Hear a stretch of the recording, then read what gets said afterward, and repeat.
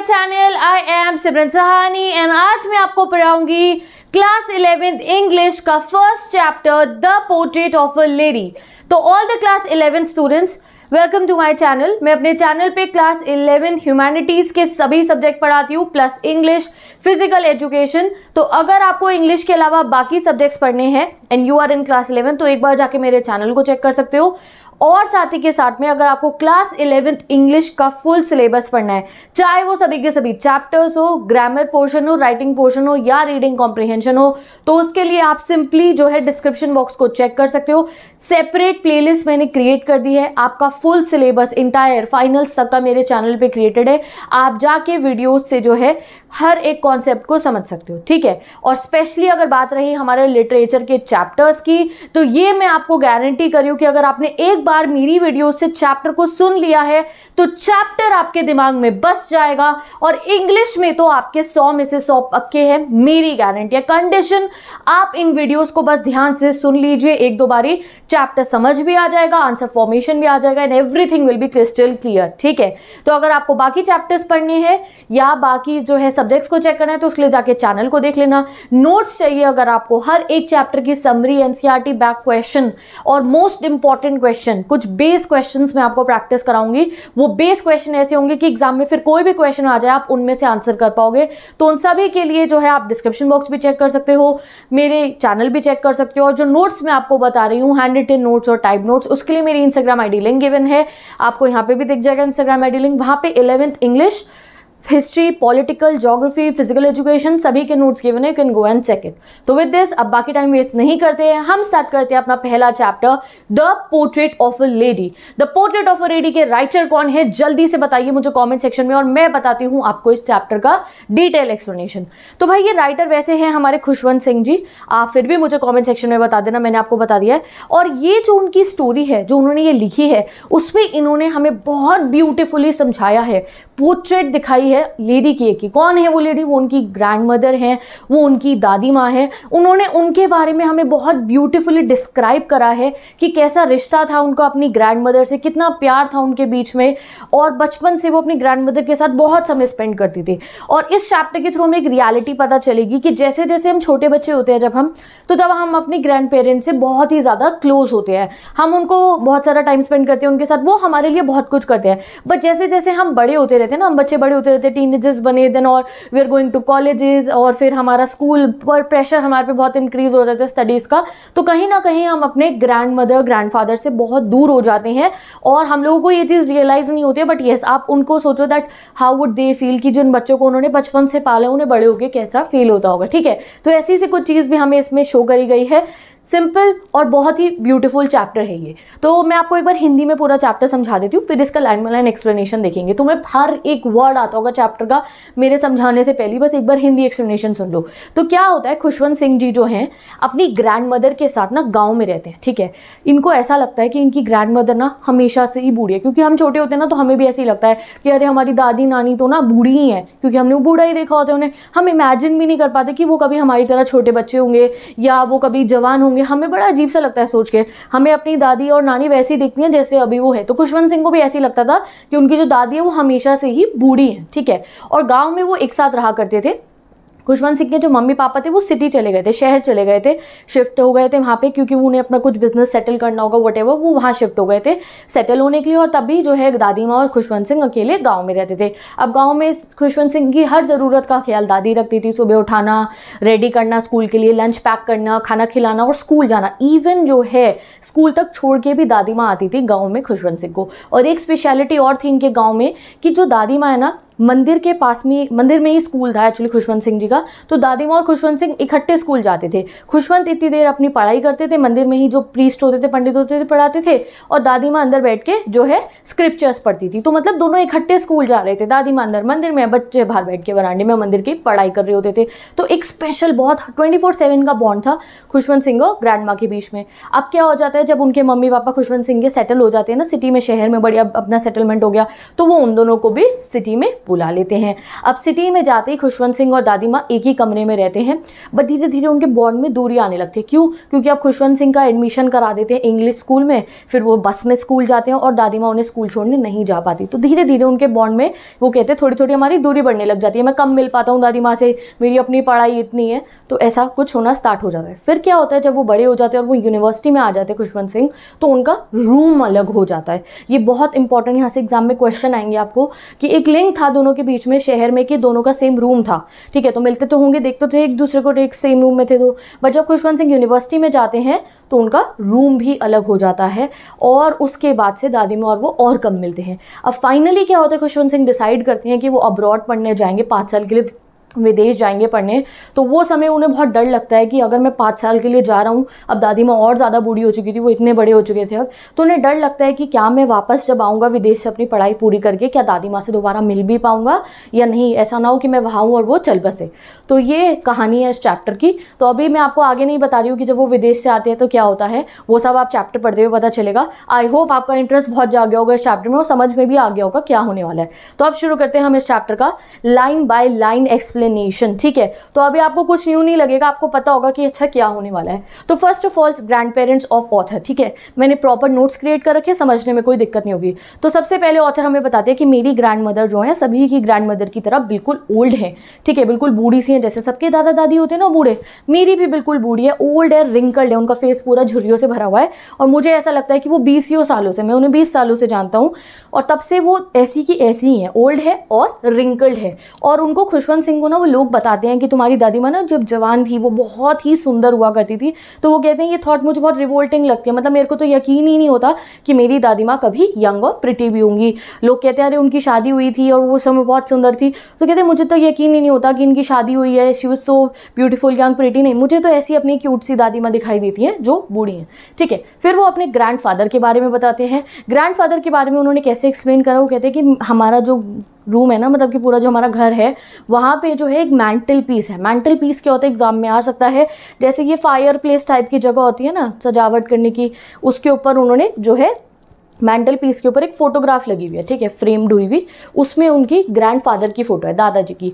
दादाजी कैसे हैं उनके? दादाजी उनके सिख हैं, सरदार है तो उन्होंने टर्बन पहन रखी है, उनकी वाइट बियर्ड है, और इवन फोटोग्राफ के अंदर जो दादाजी हैं, वो भी बहुत ज़्यादा बूढ़े हैं। तो वो कहते हैं, मेरी दादी भी बूढ़ी हैं, और जो फ़ोटो में मेरे दादाजी हैं, वो भी बहुत ज़्यादा बूढ़े हैं। उन्होंने लूज फिटेड क्लोज पहन रखे टर्बन है उनकी, और उनको देख के भी मुझे ऐसा लगता है कि ये कभी भी जो है, ऐसा नहीं लगता है कि हाँ ये जवान होंगे, नहीं। मेरे को इनको देख के भी ऐसा ही लगता है कि हाँ इनके lots of lots of grandchildren ही होंगे तो उनकी बचपन से ये थिंकिंग है दैट मेरे दादा, दादी दोनों ही बूढ़े, ठीक है? तो ये उन्होंने हमें स्टार्टिंग में एक्सप्लेन करा है, ठीक है? तो उन्हें काफ़ी अजीब लगता था जब दादी माँ के लिए जो है वो सोचते थे कि वो प्रिटी थी। अब दादी माँ ना कभी कभी उन्हें बताती हैं कि मैं ना बचपन में ऐसे गेम्स खेला करती थी, जैसे हम अपने नाना नानी, दादा दादी से पूछते हैं कि आप बचपन में कैसे रहा करते थे तो उनको जब वो बताती है कि मैं ऐसे गेम खेलती थी सपोज़ करो उन्होंने बताया छुपन छुपाई खेलती थी सो एंड सो तो वो कहते हैं, मुझे यकीन ही नहीं होता था। मुझे ऐसा लगता था कि ये मुझे झूठ मूठ की कहानियाँ सुना रही है, ऐसी कुछ कहानियाँ सुना रही है कि हाँ ये ऐसे बचपन में गेम्स खेला करती थी। प्लस अब वो देते हैं हमारे को अपनी ग्रैंड मदर का फुल ऑन डिस्क्रिप्शन इस पे एग्ज़ाम में क्वेश्चन आएगा बहुत बिल्कुल कि अपीयरेंस ऑफ़ ग्रैंड मदर बताओ। तो वो जैसी अपनी अपीयरेंस बताते हैं ग्रैंड मदर की, वो मैंने प्रॉपर यहाँ नोट्स में लिख दिया। आप देखो, अब वो फाइनली क्या बताते हैं कि उनकी ग्रैंड मदर ओल्ड हैं, बहुत ज़्यादा शॉर्ट हाइट की हैं फैट है, यानी कि काफ़ी गोलू मोलू सी क्यूट सी हैं और स्लाइटली बेंट है, यानी कि वो थोड़ा सा झुक के चलती हैं, ठीक है? रिंकल्ड फेस है उनका बिल्कुल भी और वो कहते हैं कि 20 साल से वो बिल्कुल बिल्कुल सेम लग रही है। जैसे जब वो गाँव में थे, शहर में गए, अब यूनिवर्सिटी वाले हो चुके हैं, बीस साल हो चुके हैं ना, बीस साल के वो गए होंगे। कह रहे तब से लेके अब तक मुझे बिल्कुल सेम टू सेम लगती है मेरी ग्रैंड मदर वो सीधी नहीं चल पाती है, थोड़ा सा झुक के चलती हैं। हमेशा वो कहते हैं, वो पूरे घर के अंदर घूमती रहती हैं वाइट कलर के अपने कपड़ों में, यानी कि वाइट साड़ी पहनती हैं वो, उनके सिल्वर कलर के जो बाल हैं, यानी कि बाल वाइट हो गए होंगे, उन्होंने डाई नहीं कर रखे हैं, वो स्कैटर्ड हो रखे होते हैं अराउंड और वो हाथ में एक एक हाथ उनका होता है कमर पे अपनी और एक हाथ में वो अपनी रोज़री, जो माला होती है ना चैंट करने के लिए, वो पकड़ के पूरे घर में काम करती रहती थी और हर समय उनकी जो लिप्स थे, वो उसमें जो है भगवान का नाम लेती रहती थी, वो दादी जो है हर समय चैंटिंग करती रहती थी। तो इस चीज़ को आपको ध्यान रखना है, दादी माँ कैसी थी? ओल्ड थी, शॉर्ट थी गोलू मोलू सी थी, ठीक है? और उनका रिंकल्ड फेस था, साथ ही के साथ में वो थोड़ा सा झुककर चलती थी, एक हाथ उनका कमर पर रहता था और हमेशा एक हाथ में रोजरी रहती थी और पूरे घर के काम वो ऐसे ही घूमते घूमते करती रहती थी। ओके तो ये है हमारी दादी माँ का डिस्क्रिप्शन ठीक है? तो विद दिस अब आगे चलते हैं। अब हमें बताया गया है ग्रैंड मदर एंड हमारे जो ऑथर है उनकी फ्रेंडशिप देखो बचपन में उनकी फ्रेंडशिप बहुत ही अच्छी थी। ऑथर के जो पेरेंट्स हैं वो कहाँ चले जाते हैं? सिटी में सेटल होने के लिए। तो ग्रैंड माँ और वो विलेज में एक साथ रहते हैं। अब ग्रैंड माँ विलेज में ऑथर की हर नीड्स को जो है ध्यान में रखती थी। सुबह सुबह स्कूल जाने के लिए वो उन्हें उठाती थी। They were together all the time ठीक है? वो कहते हैं मुझे स्कूल जाने के लिए दादी माँ उठाती थी। फिर मेरे को जो है नहलाती भी थी और जब वो उन्हें नहला रही होती थी रेडी कर रही होती थी दादी तो वो क्या करती थी, वो हमेशा ना प्रेयर बोलती रहती थी चैंटिंग करती रहती थी, हर समय भगवान का नाम लेती रहती थी और प्रेयर्स गाती रहती थी। तो वो कहते हैं, वो जान पूछ कर गाती थी, जिससे मैं भी सुन लूँ और मैं भी उसे लर्न कर लूँ। बट मैं सुनता था, मुझे उनकी आवाज़ पसंद थी बट मुझे ना कभी लर्न करने का मन नहीं करा। मैंने कभी लर्न नहीं करी बट दादी माँ हमेशा जो है प्रेयर्स गाती रहती थी सो दैट खुशवंत सिंह भी उससे लर्न कर ले। ठीक है, अब जो है, वो क्या करती हैं, वो उनको रेडी करती है सुबह सुबह स्कूल के लिए। तो इवन वो उनका स्कूल का बैग भी रेडी करती है। देखो, वो पुराने ज़माने की बात है तो तब बच्चे ना स्लेट लेके जाते थे अपने स्कूल तो वो कहते हैं मेरी स्लेट होती थी, उसके ऊपर रोज़ प्लास्टर करना होता था चौक से। तो वो भी दादी माँ करके रखती थी। मेरा इंक पॉट हो गया, एक रेड पेन चाहिए होता था मेरे को, वो सब बंडल में बाँध के हम इकट्ठे स्कूल जाते थे। और जाते हुए खाना क्या खाते थे, वो सुबह सुबह नाश्ता क्या करते थे, वो कहते हैं हम स्टेल चपाती खाते थे। स्टेल चपाती क्या होती है मतलब लो, एक दिन पहले वाली जो चपाती होती है, थोड़ी स्टेल सी, वो उसके ऊपर चीनी लगा के और बटर लगा के वो हम खाते थे और दोनों स्कूल जाते थे। अब स्कूल में मैंने आपको बता दिया कि दादी माँ और जो ऑथर हैं, दोनों स्कूल भी एक साथ जाया करते थे। इकट्ठे दादी माँ उनको छोड़ती थी स्कूल में, फिर वो अंदर टेंपल के अंदर चली जाती थी, मंदिर में चली जाती थी स्क्रिप्चर्स पढ़ती थी और सारे बच्चे जितने होते थे ना, उन्हें पंडित जी, जो टेंपल का वरांडा था, वहाँ पे बैठ के प्रेयर्स अल्फ़ाबेट्स वगैरह सिखाते रहते थे। तो इतना ज़्यादा उनका करीब थे वो दोनों कि स्कूल भी इकट्ठे जाया करते थे।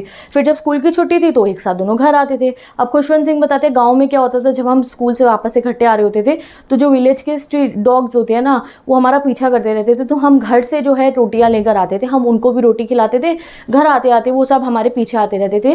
तो यहाँ पे हमें ये शो हो रहा है, दैट दादी माँ एनिमल लवर थी। वो स्पेशली जो है चपाती पैक करके ले जाती थी अपने साथ सो so दैट वो डॉग्स को फ़ीड कर पाए, ठीक है? तो ऐसा था उनका विलेज में प्रॉपर इस तरीके से वो रहा करते थे। अब क्या होता है फाइनली जो है उनकी लाइफ में एक टर्न ओवर आता है turning point in their life अब क्या होता है ऑथर के पेरेंट्स वहाँ सिटी में सेटलमेंट हो जाती है उनकी तो वो खुशवंत सिंह को और अपनी दादी उनकी जो है उनको वहाँ बुला लेते हैं। अब वहाँ आती है उनकी थोड़ी सी मैंने जैसे आपको बताया था कि उनकी जो दूरी है, थोड़ी बढ़ने लग जाती है, क्योंकि वो शेयर तो कर रहे थे, एक ही रूम में तो रहते थे बट दादी खुश खुशवंत सिंह को स्कूल छोड़ने नहीं जाते थे, वो मोटर बस में जाते थे। अब दादी खुशवंत सिंह को हेल्प नहीं कर पाती थी पढ़ाई में।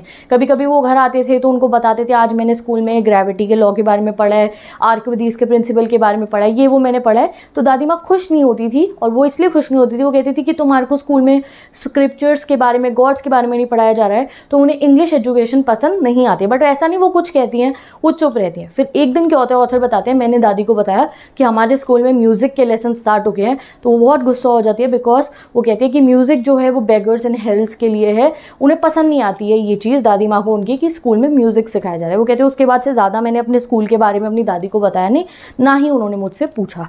अब दादी माँ घर पर तो बिल्कुल अकेली रहती थी सिटी वाले तो वहाँ पर उन्होंने अपने एक पास टाइम करने के लिए क्या उनका एक तरीका था और वो एक एनिमल लवर थी। तो वो हमेशा घर का जो वरांडा होता था सिटी वाले घर का, शहर वाले घर का, उसमें चिड़िया आती थी स्पेरो तो उसको छोटी छोटी टुकड़े जो है वो रोटी के तोड़ तोड़ के उनको खिलाया करती थी दादी माँ किसको? स्पैरोज को ठीक है? Now they saw less of each other अब वो एक दूसरे को थोड़ा कम देखते थे। फाइनली क्या होता है? ऑथर आ जाते हैं यूनिवर्सिटी के अंदर और उनका कॉमन लिंक ऑफ़ फ्रेंडशिप भी खत्म हो जाता है। कॉमन लिंक ऑफ़ फ्रेंडशिप अभी तक क्या था? उनका कमरा। ठीक है, दोनों सेम कमरे में थे। बात तो करते होंगे ना एटलीस्ट ठीक है, कुछ ना कुछ तो बातें करते होंगे। वो कहते हैं, जब मैं यूनिवर्सिटी में आया तो मुझे ज़रूरत थी स्पेस की तो मेरे को एक अलग रूम मिला। और दादी को ऑब्वियसली बुरा लगा होगा बट वो कहते हैं, वो कुछ कहती नहीं है। शी एक्सेप्टेड इट उन्होंने इस चीज़ को भी एक्सेप्ट कर लिया। फिर मैं देखता था उनको दादी माँ को। अपने घर में हमेशा जब मेरा और उनका रूम अलग हो गया तो वो चुपचाप वरांडे में बैठ के स्पिनिंग व्हील जो होता है, चरखा जो होता है, वो चलाती रहती थी। और दोपहर में जब जो है फ्री टाइम होता था तो वो स्पैरोज को जो है फ़ीड करती थी, चिड़ियाओं को खाना खिलाती थी। और चिड़िया के खाना खिलाते हुए दादी बहुत खुश होती थी, कह रहे इतनी सारी चिड़िया हमारे वरांडे में आती थी। लो बीस तीस चिड़िया आ जाती थी, कोई दादी के सर पर कभी बैठ जाती थी, कोई हाथ पे बैठ जाती थी। वो उन्हें ऐसा शू करके भगा देती थी नहीं थी, ऐसे प्यार से भगाया करती थी। तो वो उनका उनका टाइम पास पूरा होता था, फिर चिड़ियाओं के साथ। अब फाइनल क्या होता है जो मैंने आपको बताया था नरेटर वेंट अब्रॉड यूनिवर्सिटी तक तो वो पढ़ रहे थे, कमरा भी अलग हो गया था। अब नरेटर डिसाइड करते कि मैं जाऊँगा बाहर पढ़ने। वो कहते हैं, इस समय पर मुझे बहुत डर लगा कि अगर मैं पाँच साल के लिए बाहर जाऊँगा तो पता नहीं मेरी दादी से दोबारा मिल पाऊँगा या नहीं। हम सब बड़े कन्फ्यूज़ थे कि क्या होगा, क्या नहीं होगा बट वो कहते हैं, मेरी दादी माँ बिल्कुल भी कन्फ्यूज़ नहीं थी शी वॉज़ श्योर वो मुझे छोड़ने आती है रेलवे स्टेशन तक। जिस दिन मेरी स्टेशन मेरे को जाना होता है एयरपोर्ट आगे जाना होगा तो वो कहते दादी माँ मुझे छोड़ने आती है। ठीक है, और उनको बिल्कुल भी वो इमोशनल नहीं थी, ऐसा नहीं थी कि वो मुझे बहुत परेशान होकर दिखा रही थी कि अब मैं उनसे दूर जा रहा हूँ। नहीं, वो कहते वो बिल्कुल इमोशनली मुझे होकर नहीं दिखाती है। इनफैक्ट जाते जाते वापसी पर उन्हें एक हक करती हैं और उनके फोरेट पर किस करती है और उस समय भी वो रोज़री जो है साथ के साथ प्रेयर करी थी, वो कहते हैं तो ये जो कॉन्टैक्ट था हमारे बीच में कि उन्होंने मेरे फोरहेड पे किस करा, उस समय भी वो जो है क्या करी थी, अपनी जो है भगवान का नाम ली थी चैंटिंग कर रही थी। तो कह रहे, वो मैंने एक अपने याद बना ली मैंने अपने दिमाग के अंदर, मुझे लगा शायद ये उनका और मेरा एक लास्ट कॉन्टैक्ट है, शायद कभी मैं वापस आऊँगा अब जब तो मेरे को दादी मिले ही ना। तो वो इस सोच से गए थे, ठीक है? बट वो कहते हैं, दादी दादी माँ बिल्कुल भी मेरे को उन्होंने ऐसे नहीं दिखाया कि वो परेशान है या उन्होंने मुझे ऐसा शो कराओ कि मुझे नहीं जाना चाहिए। नहीं, वो बिल्कुल स्ट्रांग होकर वो मुझे वहाँ तक छोड़ने भी है अब पाँच साल बीत जाते हैं। यहाँ तक तो मैंने आपको चैप्टर बता ही दिया था एंड ऑथर केम बैक और दादी माँ अभी भी बिल्कुल सही सलामत होती हैं और रेलवे स्टेशन पे फिर से ऑथर को रिसीव करने भी जाती है। तो देख रहे हो आप दादी माँ कितना प्यार करती है खुशबंत सिंह से दैट जब वो पाँच साल बाद वापस भी आते हैं तो भी वो उनको स्टेशन पे वेट कर रही होती है और वो कहते हैं, जैसे ही मैं स्टेशन से उतरा, आया मैंने दादी को देखा, अभी भी वो सेम टू सेम लग रही थी। एक दिन ज़्यादा बूढ़ी नहीं लग रही थी, बिल्कुल भी उनमें डिफरेंस नहीं आया था सेम टू सेम लग रही थी और अब भी उन्होंने उन्हें कुछ नहीं कहा, बस एक बार हक करा और फिर वो लोग घर आ गए। कहते हैं, घर आके मैंने देखा, फिर दादी स्पेरोज के साथ थी, वही उनका रूटीन तो अभी तक वैसे ही चल रहा था।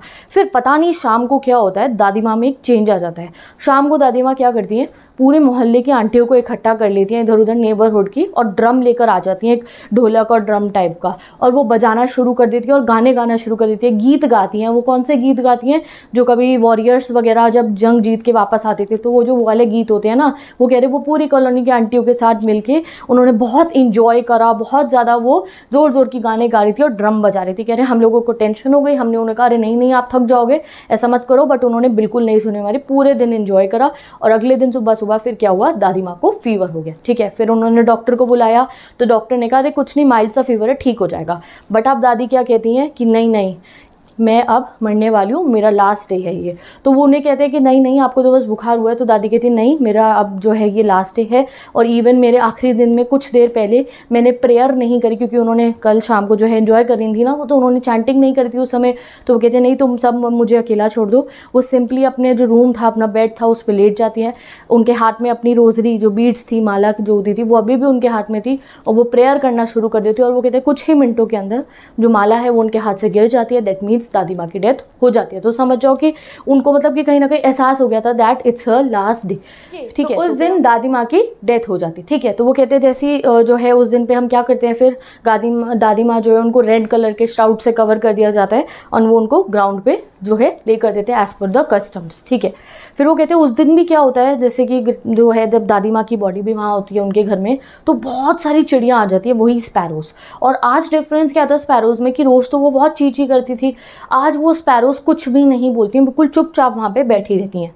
फिर जब वो दादी को जो है अंतिम संस्कार के लिए ले जाते हैं तो वो कहते हैं कि उस समय मेरी मम्मी क्या करती है कि स्पैरोज के लिए वो परेशान होती है तो वो छोटे छोटे ब्रेड के टुकड़े वहाँ पर रख देती हैं स्पैरोज के लिए।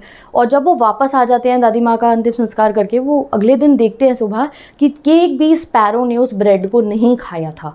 और फिर स्वीपर जो होता है वो उसको ब्रेड्स को वहाँ से हटा देता है। तो डेट मीन्स उन्होंने ये लास्ट लाइन से हमें ये शो करा कि इवन जानवरों को भी इतनी ज़्यादा समझ होती है। उस दिन स्पैरोज़ ने भी जो है आप कहो कि वो भी बहुत दुखी थी कि दादी माँ अब नहीं रही हैं। उन्होंने ना ही ब्रेड खाई और जब दादी माँ की डेथ हुई थी तो उस समय वो बिल्कुल चुप रहती हैं। चीची चीची वो भी नहीं करती हैं।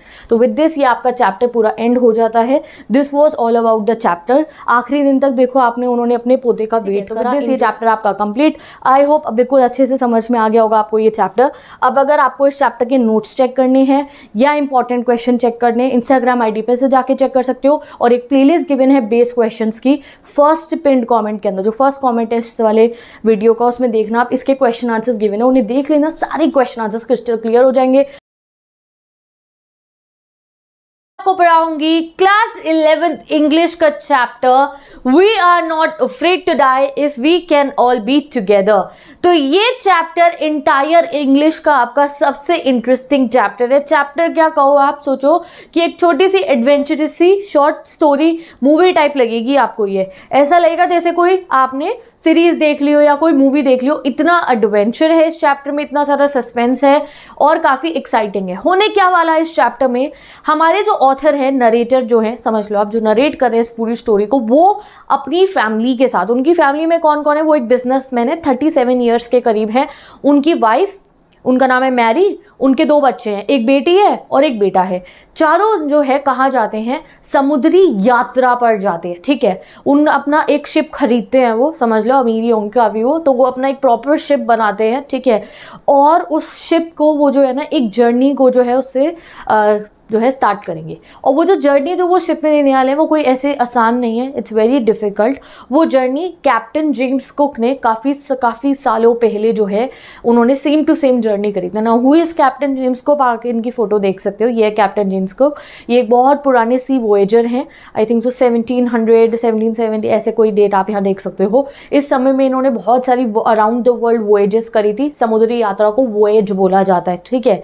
तो टफेस्ट वेदर के अंदर ये वाला इन्होंने समुद्री यात्रा करी थी। अब हमारे जो नरेटर हैं, वो भी चाहते हैं कि वो जो ये जेम्स कुक ने अराउंड द वर्ल्ड यानी कि पूरी दुनिया का आप समझ लो, जो है एक चक्कर टाइप लगाने का, जो उनका एक रास्ता, जो उन्होंने जो है कवर करा था, हमारे नरेटर भी करना चाहते हैं। तो वो अपनी पूरी फैमिली के साथ ना it is very dangerous thing कि आप भाई समुद्री यात्रा में कुछ भी हो सकता है, ठीक है? डिजास्टर देखने पड़ेंगे, समुद्री तूफ़ान देखना पड़ेगा शिप खराब हो सकता है एनी थिंग कैन हैपन और वो अपनी फैमिली के साथ इस समुद्री यात्रा पे जाते हैं। तो काफ़ी एक्साइटिंग चैप्टर है। रास्ते में उन्हें बहुत डिफ़िकल्टी आती है। कैसे उनकी जर्नी जो है रुकती है, ये सब हम जानेंगे इस चैप्टर में। तो चलो शुरू करते हैं हम अपने इस चैप्टर को। तो आपको समझ में आ गया है कि अपना जहाज़ लेके हमारे नरेटर चलेंगे एक पूरी जर्नी को जो है एक कॉपी करने के लिए जो कैप्टन जेम्स कुक ने की थी। ठीक है? तो ये समझ लेते हैं ये हमारे नरेटर का जहाज़ है हमारे इस चैप्टर के लिए। ठीक है? तो जुलाई 1976 में नरेटर जो है थर्टी सेवन ईयर्स के। नरेटर कौन होते हैं जो हमें पूरी स्टोरी बता रहे हैं? मुझे कैसे पता चला? चैप्टर में लिखा है। चैप्टर को किसने चैप्टर में कैसे लिखा गया है? नरेटर ने खुद बताया कि मैं थर्टी सेवन ईयर्स का था, ठीक है? मैं बिज़नेस मैन हूँ एक और मेरी वाइफ उनका नाम है मैरी मेरा बेटा जॉनथन है छः साल का, और मेरी बेटी सुजैन जिसको प्यार से सू बोलते हैं। वो है सात साल की। हम सबने जो है अपनी जर्नी स्टार्ट करी प्लाईमाउथ इंग्लैंड से। आप मैप पे देख सकते हो प्लाईमाउथ इंग्लैंड कहाँ है, ठीक है? और ऐसे ही आप समुद्री यात्रा पे नहीं जा सकते हो। इस समुद्री यात्रा पे जाने से कह रहे सोलह साल तक मैंने और मेरी वाइफ ने बहुत जो हमारा फ्री टाइम होता था ना स्पेंड करा अपनी जो है सी फेयरिंग स्किल्स को टेस्ट करने में। यानी कि ऐसे ही नहीं कि जहाज़ उठाया, चलो भैया अराउंड द वर्ल्ड घूम के आते, ऐसा नहीं हो सकता है। उन्होंने कहा सोलह सालों तक मैंने और मेरी वाइफ ने शिप चलाया, इतने तूफ़ान भरे इलाकों में हमने अपने आप को प्रिपेयर करा प्रैक्टिस करी टेस्ट करा कि फाइनली हम इस वाले वोएज के लिए रेडी हो जाए, ठीक है? उनकी जो बोट है, उसका नाम क्या है? वे वॉकर यानी कि जो तूफानों को, लहरों को तोड़ती हुई चली जाएगी। उन्होंने नाम रखा अपनी बोट का वे वॉकर ये ट्वेंटी मीटर लॉन्ग है। Thirty ton wooden hulled beauty यानी कि तीस टन लकड़ी लगी थी इसे बनने के अंदर और प्रोफेशनली बनाई गई है ये वाली बोट क्या नाम है वेव वॉकर ऑथर ने बहुत सारा टाइम स्पेंड करा इस वेव वॉकर को, वो समुद्र में अलग अलग जगहों पे लेके गए और वो काफ़ी सारे ब्रिटिश वाटर्स के अंदर उन्होंने इसे पहले टेस्ट कर लिया था। ऐसे नहीं उठाई और भैया बच्चों को और वाइफ को लेके निकल पड़े, नहीं। पहले पूरा टेस्टिंग करी उन्होंने देन उन्होंने डिसाइड करा कि चलो भैया अपनी जर्नी को बिगिन करते हैं। ठीक है? जर्नी कहाँ से स्टार्ट हो रही है? उनकी प्लाईमाउथ इंग्लैंड से उनका एक प्रॉपर रूट चलेगा अराउंड द वर्ल्ड उनको जो है पूरा घूम के उन्हें आना है। मैप में आप देख सकते हो किस तरीके की उनकी जर्नी रहेगी। ये मैप देखो आप। यही जर्नी कैप्टन जेम्स कुक ने अपनी अराउंड द वर्ल्ड वॉयज में कर देख रहे हो कहाँ कहाँ कहाँ का शिप जा रहा है। ऐसी इन्होंने अपनी जर्नी जो है कंप्लीट करनी थी। इतने सारे ओशंस को इन्होंने पार करना था। तो कह रहे first leg of our plan journey मैं आपको डायरेक्ट एनसीआरटी से पढ़ा रही हूँ। अगर ये वीडियो देखने के बाद एनसीआरटी की एक लाइन भी रीड कर लोगे ना तो वो भी ऐसा नहीं लगेगा कि मुझे नहीं पता है। एक एक लाइन आपको क्लियर हो जाएगी तो टेंशन लेने की ज़रूरत नहीं है। ये चैप्टर बच्चों को दस बार पढ़ के भी समझ में नहीं आता, क्योंकि एनसीआरटी में काफ़ी डिफ़िकल्ट लैंग्वेज लिखी गई है बट अब ऐसा नहीं होने वाला है, ठीक है? तो अभी आपको समझ में आ जाएगा। तो वो कहते हैं, पहला, हमारी प्लान जर्नी का पहला भाग। फ़र्स्ट लेग मतलब जो पहला भाग था, उसमें हमने एक लाख पाँच हज़ार किलोमीटर जो है पार करे और वो काफ़ी अच्छे से हुए। वो चारों अकेले नहीं करे थे, यानी कि बच्चे और दोनों मम्मी पापा ने, ठीक है? वो कह रहे हैं, जब हम वेस्ट कोस्ट ऑफ़ अफ्रीका पे पहुँचे, से केप टाउन तक, कब, कहाँ से कहाँ तक का था ये वाली journey? West coast of Africa to Cape Town तक। ये पूरा इनका जो सारा चला, ये अच्छे से वो कह रहे हैं, बहुत प्लीजेंट हमारा रहा। फिर वो कह रहे हैं बिफोर हेडिंग टू ईस्ट यानी कि वो अफ्रीका का केप टाउन, पता है ना, यहाँ ऐसे, यहाँ पे ये इधर एक केप टाउन अफ्रीका का, ठीक है? तो वो कह रहे वहाँ से ईस्ट की तरफ़ जब हमें मुड़ना था तो हमने सोचा कि हम जो है दो ट्रेंड साथ में एक हमारे जो समुद्री में मतलब कि शिप्स जर्नीज को कवर करते रहते हैं ना, हमने कहा इनको अपने साथ ले लेते हैं, क्योंकि आगे बहुत खतरा होने वाला था। तो उन्होंने दो ट्रेंड ऐसे लोगों को अपने साथ में बुलाया, जिन्होंने बहुत खतरनाक खतरनाक वेदर के अंदर शिप चलाए थे। उनका नाम था, एक अमेरिकन थे, जिनका नाम था रैरी वीगल और दूसरे एक स्विस थे, यानी कि स्विट्जरलैंड के थे, जिनका नाम था हर्ब सीगलर तो दो जन और आ गए उनकी हेल्प करने के लिए। To tackle one of the world's roughest seas the southern Indian ocean तो जो सदर्न इंडियन ओशन ओशन है, वहाँ करंट्स बहुत स्ट्रांग होते हैं, वहाँ बहुत तूफ़ान आते हैं। सबसे आप समझो कि एक ऐसा एरिया है जो बहुत ही ज़्यादा चैलेंजिंग रहता है। तो अब उन्हें ईस्ट मोड़ के अपने शिप को सदर्न इंडियन ओशन में एंटर करना था। ऐसे ही तो करेंगे, वैसे केप टाउन से वो ईस्ट की तरफ़ मोड़ेंगे तो सदर्न इंडियन ओशन आएगा। तो वो कह रहे उसके लिए हमने दो जने और बुला लिए, अमेरिका वाले लैरी जी और स्विट्ज़रलैंड वाले हर्ब जी। दो लोग और आ गए हमारे साथ में, ठीक है? और अब उनकी धीरे धीरे प्रॉब्लम शुरू होने वाली थी, ठीक है? तो चलो पढ़ते हैं। Problems begin during the voyage ठीक है? तो वो कहते हैं on the second day out of Cape Town Cape Town से निकले हुए, अभी दूसरा दिन ही हुआ था, हमें बहुत तेज़ तेज़ हवाएँ चलनी दिखाई दी। हवा बहुत तेज़, हवाओं को बुक में लिखा है गेल्स गेल्स क्या होती हैं? बहुत स्ट्रॉन्ग विंड जो चल रही होती हैं, समुद्री तूफ़ान वाले इलाके में, उसको हम कहते हैं, ठीक है? वो कह रहे हैं और विंड तो बहुत तेज चली रही थी। विंड से ज़्यादा मुझे डर लग रहा था लहरों की हाइट देख के। इतनी तेज़ लहरें ऊँची ऊँची उठ रही थी कि डर लग रहा था उन्हें देखकर। विंड और स्टॉम काफ़ी हफ्तों तक वो कह रहे चलते रहे। उससे अगले हफ़्ते तक, यानी कि बहुत दूर दूर तक जो है, आप समझो कि हर जगह तूफ़ान था। ऐसे आप इमेजिन कर सकते हो, समुद्री तूफ़ान है, हमारे ऑथर अपने शिप के अंदर है, और वो कह रहे हैं कि तूफ़ान से ज़्यादा डर मुझे लग रहा था वेव से, जो आने वाली लहरें थी। अप टू पंद्रह मीटर की वो अब लहरें आ रही थी, यानी कि पंद्रह मीटर ऊँची ऊँची लहरें उनके सामने चल रही थी। पच्चीस दिसंबर, जैसे कि क्रिसमस होता है, वो कहते हैं, हम कितने किलोमीटर्स पार कर चुके थे हम? ईस्ट ऑफ़ केप टाउन से हम तीन हज़ार पाँच सौ किलोमीटर भी आगे आ चुके थे, ठीक है? और वेदर और ज़्यादा ख़राब हो रहा था बट फिर भी हमने उस ख़राब वेदर में क्रिसमस को वंडरफुली जो है सेलिब्रेट करा और हम नए साल तक सोच रहे थे कि काश नए साल तक कुछ चेंज आए, कुछ इम्प्रूवमेंट आए। यानी कि भैया, जनवरी आते आते ना, भाई पच्चीस दिसंबर तक जनवरी आते आते मौसम थोड़ा बदल जाए, ठीक है? तो वो कहते हैं हाँ मौसम बदला। जनवरी टू को मौसम बहुत बदल गया था बट अच्छे के लिए नहीं बदला इनफैक्ट और बुरे के लिए बदला। इतना भयानक तूफ़ान आता है कि अभी आप देखोगे कि कैसे नरेटर जो है वो भी डूब जाते हैं, उनके बच्चों को भी बहुत चोट लगती है और पूरा जो इनका वे वॉकर शिप था, बिल्कुल टूट जाता है। तो वैसे मैंने सस्पेंस आपको पहले ही बता दिया क्या होने वाला है बट जिससे आपको समझ में आ पाए तो देखते हैं हम, ठीक है? तो वो कहते हैं on the second January waves were gigantic यानी कि इतनी ऊँची ऊँची लहरें आ रही थी कि देख के बहुत डर लग रहा था।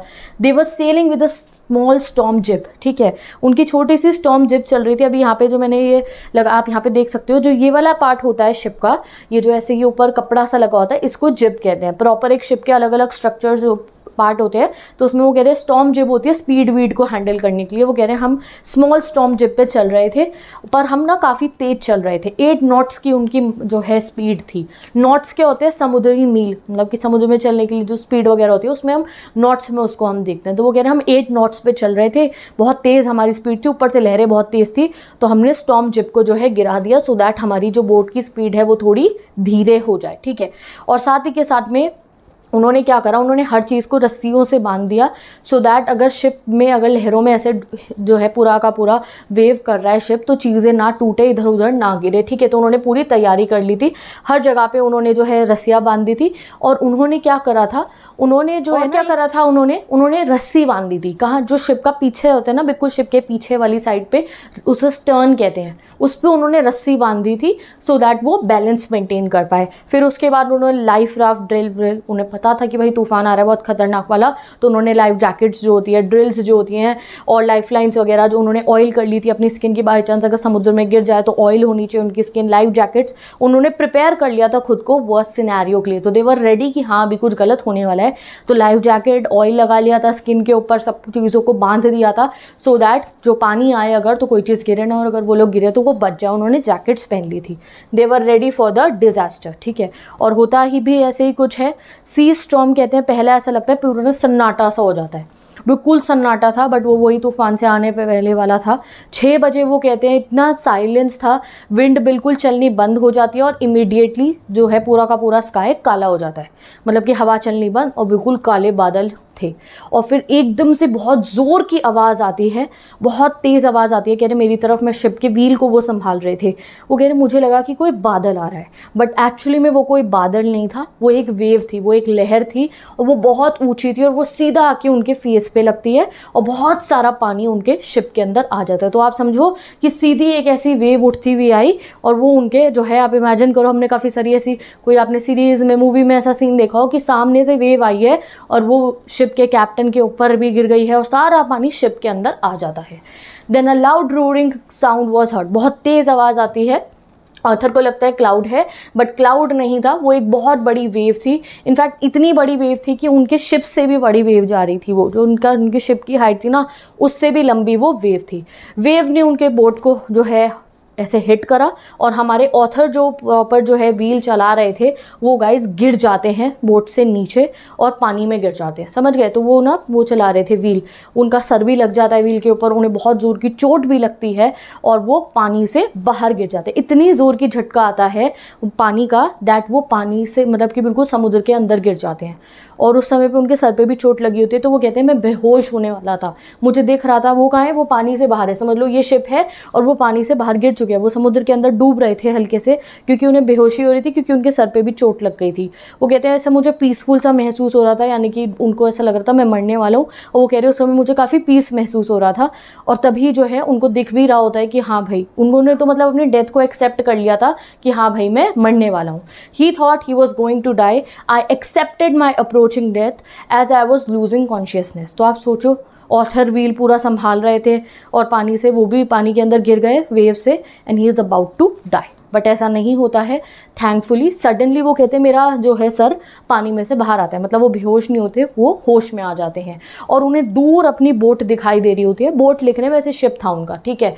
और वो कैप्साइज हो रही होती है, यानी कि ऐसे वो पलट गई होती है पानी के अंदर। बिल्कुल हॉरिजॉन्टल उनकी बोट हो चुकी होती है। इतना तेज़ तूफ़ान था। और सडनली वो क्या कहते हैं कि एक वेव ऐसी आती है जिससे मेरी बोट सीधी हो जाती है। तो एक वेव इधर से आ रही है, उसने बोट को इधर करा। एक वेव इधर से आई तो बोट उनकी सीधी हो गई वो कह रहे, मैं स्विम करते हुए गया और मैं बोट के अंदर जैसे तैसे करके मैं उस बोट के अंदर अपने वापस पहुँचता हूँ। जब मैं वहाँ वापस पहुँचा तो इतनी तेज़ वेव हो रही थी। एक इधर से वेव आ रही है, एक इधर से वेव आ रही है।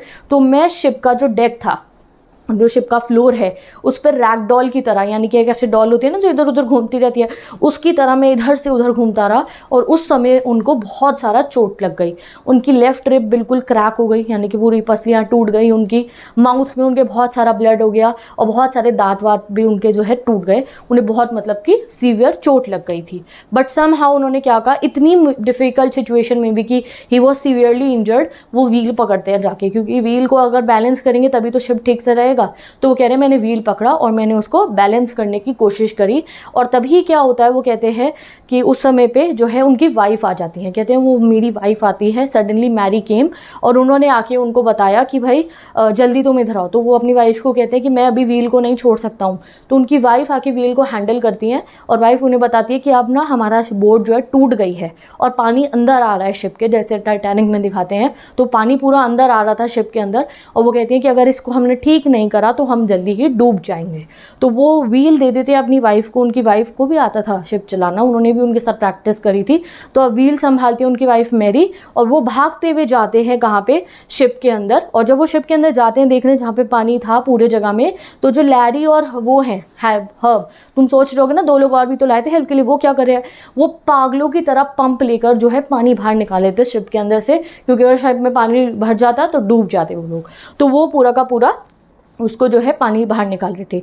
जितनी भी वुडन बीम्स थी, पूरा का पूरा उनका एरिया शिप का काफ़ी सारा, वो टूट चुका था बिल्कुल ही और पानी भर रहा था शिप के अंदर। The whole starboard side bulged inwards starboard मतलब होता है शिप का आगे वाला हिस्सा। वो अंदर की तरफ़ हो चुका था और टूट चुका था और पानी हर जगह से अंदर आ रहा था। वो कह रहे, मेरे को दिख रहा था शिप के अंदर हमारे कपड़े क्लोथ्स क्रॉकरी वगैरह टॉयज़ वगैरह, सब ऐसे ही पानी में सब चीज़ें तैर रही थी। काफ़ी पानी घुस चुका था उनके शिप के अंदर। फिर सडनली वो देखते हैं, अपने बच्चों के रूम में वो जाते हैं। कहते सम हाउ में बच्चों के रूम तक गया और वहाँ पे जो है वो पूछते बच्चों से तो बच्चे कहते हैं हम ठीक है।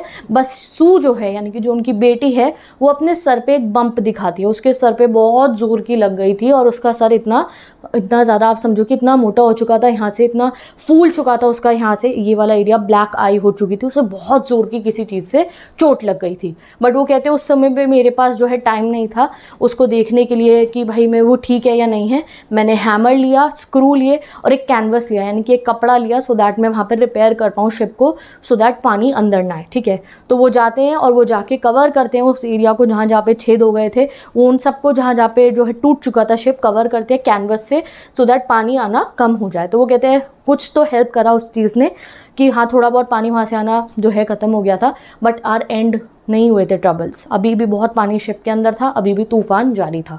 तो अब वो क्या करते देखते हैं? वाटर इनसाइड द शिप तो अब उनके क्या था कि बहुत सारा पानी शिप के अंदर एंटर हो चुका था और जल्दी अगर वो उस पानी को बाहर ना निकालते तो पूरा का पूरा शिप गाइज़ उनका डूब जाता. कह रहे हाँ, धीरे धीरे क्या होता है? लैरी और हर्ब का जो हैंडपम्प था वो जो पम्प थे जो भी जिससे वो पानी बाहर निकाल रहे थे वो फुक जाते हैं. ऑब्वियसली इतनी देर से वो चल रहे थे, उनके अंदर कुछ डर्ट मिट्टी वगैरह फंस चुकी होती है, वो बिल्कुल ख़राब हो जाते हैं। और जो हमारे स्पेयर हैंडपम्प्स हम लेकर आए थे, या और इक्विपमेंट्स जो हम लाए थे डिंजीज यानी कि जो वो बोट होती है ना लाइफ बोट वाली, कि उनको उतार के आप भाग सकते हो उनमें बैठ के। कह रहे, जो मोस्ट इंपॉर्टेंट जो हमारे इक्विपमेंट्स थे, जो हम लेकर आए थे अपने साथ में, वो सब तूफ़ान के साथ चले गए थे। यानी कि जब शिप पे वेव आई तो वो सब पता नहीं कहाँ समुद्र के अंदर डूब गए, वो सीज़र चली गई थी। अब उनके पास सेफ्टी इक्विपमेंट्स भी बिल्कुल भी नहीं थे, ठीक है? तो वो क्या कहते हैं? वो कहते हैं, अब हमने जो है सम हाउ हम बहुत परेशान हो गए कि क्या करें, एक पंप नया कहाँ से लाए? तो कह रहे, मुझे याद आया कि मेरे पास में एक इलेक्ट्रिक पंप और पड़ा है, ठीक है? तो वो अपने ऑफ़िस में कहीं उनको इलेक्ट्रिक पंप एक मिल जाता है और उस इलेक्ट्रिक पंप से फिर वो पानी शिप के अंदर से बाहर निकालते हैं। The night was an endless bitterly cold routine of pumping steering and working the radio पूरे ही रात वो कहते हैं कि क्या करे थे? मेरी वाइफ शिप का व्हील संभाल रही थी पानी निकाल रहे थे वो दोनों और मैं मेडे कॉल्स कर रहा था। मेडे मेडे पता है ना आपको जब बहुत ज़्यादा मुसीबत में होते हैं तो मेडे कॉल्स की जाती हैं तो वो कह रहे हैं, हम बहुत सारा रेडियो से कॉन्टैक्ट करके मेडे कॉल्स कर रहे थे बट हमें कोई जवाब नहीं मिल रहा था। इनफैक्ट हमें पता था कोई जवाब नहीं मिलेगा, क्योंकि हम remote corner of the world में थे, यानी कि हम बहुत ही अलग से कॉर्नर में थे। यहाँ सिग्नल मिलना ना के बराबर था। और वहीं पे उनको क्या पता चलता है, जो सू थी, सू ने उस समय पे अपने पापा को इतना ज़्यादा नहीं दिखाया था कि उसके सर पे इतनी गहरी चोट लग गई है। वो कह रहे, जब मैंने देखा जाके सू को तो उसका जो अब चोट थी, वो बहुत ज़्यादा सूजन आ गई थी वहाँ पर इतना ज़्यादा सूट चुका था उसका सर, उसकी ब्लैक आइज़ हो चुकी थी और उसके हाथ पे यहाँ आम पे एक बहुत गहरा कट भी लग गया था। तो वो बहुत डर जाते हैं अपनी बेटी को ऐसे देख के। तो वो पूछते हैं कि तुमने मुझे तब क्यों नहीं बताया कि तुम्हें ऐसे कट भी लग गया और इतनी ज़ोर की तुम्हें लगी है? तो वो कहते हैं कि नहीं, मुझे आपको परेशान नहीं करना था। उस समय जब आप हम लोगों को बचाने की कोशिश कर रहे थे। तो समझो सात साल की बच्ची। अभी सात साल के बच्चों को आप इमेजिन करो, छोटी सी भी चोट लग जाएगी तो वो भागते हैं मम्मी के पास, पापा के पास। ये बच्ची कुछ भी नहीं कहती है क्योंकि उसे पता था कि उसके फादर ट्राई कर रहे हैं उन्हें बचाने के लिए। तो अभी जो है आप यहाँ तक समझ चुके हो चैप्टर को कि कितनी मुश्किलों में वो अभी इस तूफ़ान के अंदर है। तो अब आएगा इस चैप्टर का सेकंड हाफ़ समझ लो कि जैसे ब्रेक होता है मूवी में इंटरवल होता है ना ये ब्रेक है इस चैप्टर का। अब आगे पढ़ाती हूँ आपको कि कैसे वो इस मुसीबत से बाहर आते हैं क्या क्या उन्हें आगे फेस करना। दो जनवरी को तूफ़ान था अगले दिन शुरू होता है। तो कहते हैं सुबह सुबह जो है जो पंप था उन्होंने काफ़ी सारा पानी बाहर निकाल दिया था शिप से। और फिर वो लोग जो है दो दो घंटे के रेस्ट करते थे और दो दो घंटे बाद पूरा जो व्हील है उसको देखते थे और पानी निकालने का सारा काम इस तरीके से वो लोग मैनेज कर रहे थे। सम हाउ पंद्रह घंटे हो चुके थे वेव वॉकर को हिट करे हुए उस वेव को। जो वो वेव आई थी ना जाइगेंटिक वेव पंद्रह घंटे हो चुके थे। और उन्हें अब ऐसा लगता है कि अब उनकी बोट इतनी स्ट्रांग नहीं रही थी वेव वॉकर कि, वो ऑस्ट्रेलिया तक चले जाए, उन्हें जाना था ऑस्ट्रेलिया तक। तो वो सोचते हैं कि ये ऐसा इस चीज़ को वो लॉन्ग जो है नहीं कर पाएगी, एक तूफ़ान अगर और आ गया तो हम लोग नहीं बचेंगे। तो वो चार्ट्स को चेक करते हैं अच्छे तरीके से कैलकुलेट करते हैं उनकी पोजिशन क्या और उनको समझ में आता है कि कहीं आगे जाके क्या है? दो आइलैंड्स हैं, उनका नाम क्या है? आइल एम्स्टरडैम ठीक है? फ्रेंच के बेस है, वहाँ पे ऐसा कुछ हैगा। तो एक आइलैंड टाइप हैंगे। वहाँ वो गए तो उन्हें मदद मिल सकती है। वहाँ वो जाएँ तो उनकी जान जो है बच सकती है, ठीक है? बट उसको ढूंढना एग्जैक्ट किस लोकेशन पे है, कहाँ पे अपने शिप को मोड़ना, कौन से डायरेक्शन में जाना, और क्या शिप वहाँ तक पहुँचेगा भी नहीं, पहुँचेगा कहीं रास्ते में, दो स्टॉम और मिल गए, तूफ़ान और मिल गए तो दे कैन डाई बहुत ही ज़्यादा जो मुश्किल सिचुएशन थी, उनके सामने थी। बट हाँ उनको ये पता चल चुका था कि एक फ्रेंड साइंटिफिक बेस है आइल एम्स्टरडेम वहाँ पे अगर वो जाएँगे तो उनको जो है काफ़ी मदद मिल जाएगी, ठीक है? अब एक प्रॉब्लम और थी उनके साथ में कि वो जो वेव आई थी, उसने उनके इंजन को भी ख़राब कर दिया था। उनके ऑक्सीलरी इंजन जो था, वो उसकी वजह से ख़राब हो चुका था। तो अब सोचो आपकी वो कितनी भारी मुसीबत में थी। जनवरी फोर होता है। After thirty six hours of continuous pumping out water अब पानी जो है, कुछ फ्यू सेंटीमीटर्स ही लेफ़्ट था। अब बस उतना ही पानी उन्हें बाहर निकालना था, जो अब जो जो टूटी टूटी जगहें थी, उनमें से अंदर आ रहा था। यानी कि पानी अब भी शिप के अंदर आ रहा था, पहले भरा हुआ पानी बाहर निकल चुका था, अब जो अंदर आ रहा था, उसी को उन्हें बाहर निकालना था, ठीक है? तो वो कहते हैं, हमने सेल सेट करी बट उस समय पे भी प्रेशर बहुत हाई था मतलब कि वो जैसे तैसे इतना अच्छा वेदर उस दिन पे भी नहीं था। वो कहते हैं, मेरी वाइफ को मिले कॉर्न बीफ क्रैकर और बिस्किट्स टाइप कुछ उन्हें मिलते हैं। और वो कहते हैं, वो फ़र्स्ट टाइम जो है, हम दो दिनों में कुछ मील खा रहे थे तो वो उसको खाते हैं। ठीक है? प्रेशर बहुत ज़्यादा आ रहा था उनके शिप के ऊपर भी, और जो उनका हल था, पूरा शिप था, कहीं ना कहीं से टूटा फूटा था, आप ये मान लो, बहुत मुश्किल सिचुएशन में थे वो, ठीक है? अब जो है, वो बताते हैं कि एट फोर पीएम क्या होता है कि अब फिर भी ठीक है, ऐसा तो नहीं था ना, तूफ़ान आ रहा था। कह रहे हैं, चार बजे दोबारा से काले काले बादल जो है इकट्ठे होने शुरू हो जाते हैं और हम बहुत डर जाते हैं। चालीस नॉट्स तक की जो है विंड चलने लगती है, यानी कि बहुत तेज़ तेज़ हवाएँ चलने लगती है और वेदर बहुत ख़राब हो जाता है उस रात को। तो वो लोग डर जाते हैं कि अगर फिर रात को तूफ़ान आ गया तो क्या होगा? वो कहते हैं, अगले दिन सुबह, पाँच जनवरी की सुबह तक डॉन मतलब बिल्कुल सुबह सुबह तक, चार पाँच बजे तक, हमारी सिचुएशन बहुत डेस्परेट थी, हम लोग बहुत डरे हुए थे कि कहीं एक और तूफ़ान ना आ जाए। तो उस दिन, चार जनवरी की रात से लेकर पाँच जनवरी की सुबह सुबह तक, वो पूरा बहुत ज़्यादा ना परेशान थे वो लोग कि कब बचेंगे भी या नहीं बचेंगे। तो वो कहते हैं, मैं अपने बच्चों के रूम में गया और मेरा जो जॉन था बेटा, उसने मुझसे पूछा, जॉन जो मेरा बेटा उसने मुझसे कहा कि क्या हम मरने वाले हैं? तो वो कहते नहीं, अब कुछ रिप्लाई नहीं करते ऑथर और वो कहते कि, नहीं, मैं बहुत तुम लोगों को प्रोटेक्ट करने के लिए कोशिश करूँगा। तो पता है उनका बेटा उन्हें क्या बोलता है? उनका बेटा कहता है we are not afraid of dying if we can all be together you me mummy Sue मतलब कि वो एक तरीके से उनको मोटिवेट करता है, ये उसी की लाइन है we if we are not afraid to die वाली। जब उसके फादर आते हैं उसको कंसोल करने के लिए तो वो पहले पूछता है क्या हम मर जाएँगे तो पापा कहते हैं, नहीं नहीं, मैं तुम्हें बचाने की कोशिश करूँगा। तो वो ये कहता है कि कोई बात नहीं, मुझे मरने से डर नहीं लगता है अगर हमारी पूरी फैमिली साथ में होगी। अब ये बात सुन के हमारे ऑथर बहुत मोटिवेटेड फील करते कि नहीं, अब तो मुझे अपने बच्चों को बहुत मतलब कि वो कोशिश करते हैं कि नहीं, मुझे बचाना ही होगा। तो वो जाते हैं और जो उनकी शिप का स्टार बोर्ड साइड था, यानी कि शिप का जो आगे वाला हिस्सा जो बिल्कुल टूट चुका था। उसको रेलिंग पे जाते हैं, उसकी, उसके ऊपर रस्सियाँ लगाते हैं बड़े बड़े बैरल्स लगा देते हैं प्लास्टिक के सो so दैट वो उसको प्रोटेक्ट कर पाए, जैसे जैसे करके उसकी मरम्मत करके आते हैं वो। सो so दैट अगर कोई स्टॉम आए तो वो बच जाए। बट छः जनवरी को अगले दिन तक वेदर अच्छा हो जाता है। अब वो अपनी पोजिशन कैलकुलेट करने की कोशिश करते हैं। उन्हें पता ही नहीं था कहाँ पर हैं वो अभी।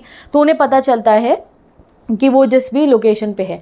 फिर वो कहते हैं, शाम हो चुकी थी और मैं और मैरी इकट्ठे बैठे होते हैं शिप पे। हमें दिख रहा था कि अभी भी हमारे शिप के अंदर पानी आ रहा है और हमें ऐसा लग रहा था कि आर एंड वॉज़ नियर क्योंकि अभी भी उनके शिप के डूबने का खतरा बहुत ज़्यादा था। उन लोगों को कुछ समझ नहीं आ रहा था what to do and what not to do ठीक है? तो वो बैठे होते हैं एंड वो उनको मतलब कि उन्होंने कहीं ना कहीं एक्सेप्ट कर लिया था that they were going to die तो it was very painful for them अब क्या ओके okay, तो छः जनवरी को जो है हवा धीरे हो जाती है चलनी तो वो जाते हैं अपने रूम के अंदर जहाँ पे वो पूरी कैलकुलेशंस करते हैं और पता लगाते हैं कि उनकी पोजीशन क्या है। तो जहाँ तक उन्हें पता लगता है उन्हें पता चलता है कि उनके अराउंड एक लाख पचास हज़ार किलोमीटर अराउंड उनके ओशन ही ओशन है। यानी कि पूरे में पूरे में ओशन ही फैला हुआ है काफ़ी बीच में है वो। और जो उनको आइलैंड ढूंढना है, वो सिर्फ़ और सिर्फ़ सिक्सटी फाइव किलोमीटर लंबा आइलैंड है। तो आप खुद मानो कि उनके अराउंड अभी एक लाख, आपका क्या लिखा है, पचास किलोमीटर तक ओशियन से वो घिरे हुए हैं। और जो आइलैंड उन्हें ढूंढना है, वो सिर्फ़ और सिर्फ़ सिक्सटी फाइव किलोमीटर वाइड था। इतना सा आइलैंड ढूंढना है और पूरे में वो अभी समुद्र के पता नहीं कौन से हिस्से में है।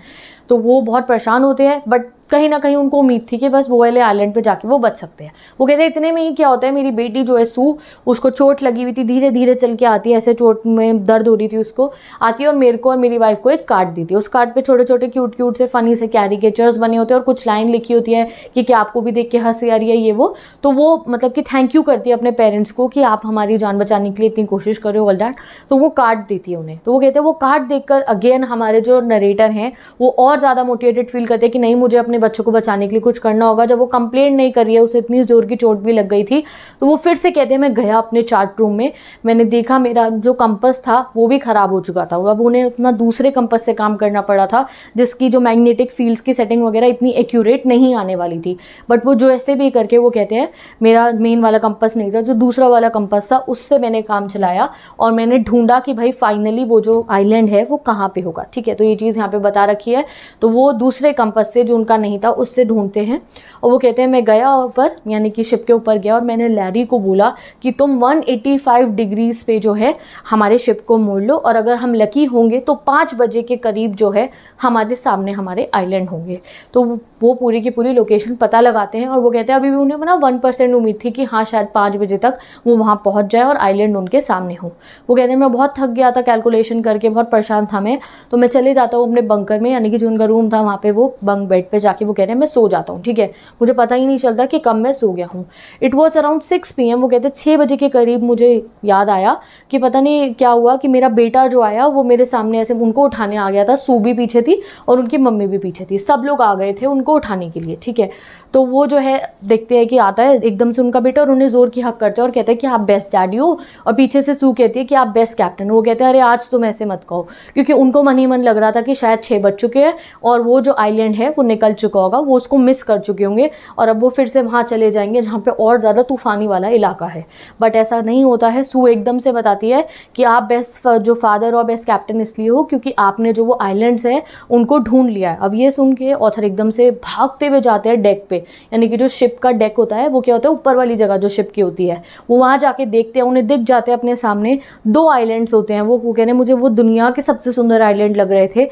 तो वो वहाँ पर पहुँच जाते हैं। छोटा से ही आइलैंड थे वो। कहाँ पर है? उनका नाम क्या आइल एम्सडेंट वो कह रहे हैं piece of igneous volcanic rock था वो। यानी कि वॉलकैनिक रॉक के आइलैंड थे वो। और वो कह रहे हैं छोटी मोटी वेजिटेशन थी वहाँ पर वहाँ पर एक फ्रेंच साइंटिफिक बेस है। फिर फाइनली वो वो साइलेंट पे जाते हैं, वो कहते हैं, जैसे ही मैंने ज़मीन टच करी ना, यानी कि जब उन्होंने फाइनली वो समुद्र से अर्थ पे पहुँचे, एक तरीके से लैंड पे पहुँचे तो वो कह रहे कि मेरे को इतना सुकून मिला। एक दिन पूरा मतलब कि पूरी रात उन्होंने वो वहीं पे रहे, अगले दिन वहाँ के लोग आ जाते हैं। अट्ठाईस लोग उस आइलैंड पे रहते थे।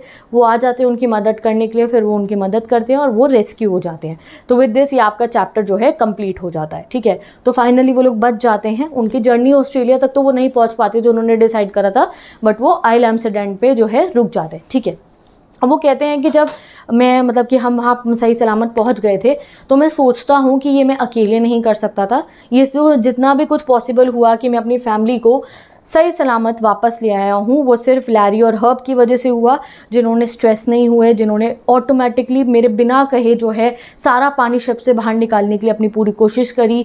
मेरी वाइफ जिसने इतने मतलब कि तूफ़ानी वेदर के अंदर शिप को संभाला व्हील को संभाला, मेरी बेटी जिसने इतनी ज़ोर की चोट लगने के बाद भी मुझे नहीं बताया और मेरा बेटा who was not afraid to die even though वो सिर्फ़ सिक्स साल का है मतलब कि सिर्फ़ छः साल का है, मेरी वजह से नहीं कि मैंने कंपस पे आइलैंड ढूंढ लिया, उनकी वजह से आज हम लोग बच गए हैं और ये चैप्टर आपका कंप्लीट हो जाता है, ठीक है? इलेवेंथ इंग्लिश का chapter three discovering the saga continues तो ये जो चैप्टर है, इसमें हम पढ़ने वाले हैं हिस्टोरिकल इवेंट के बारे में।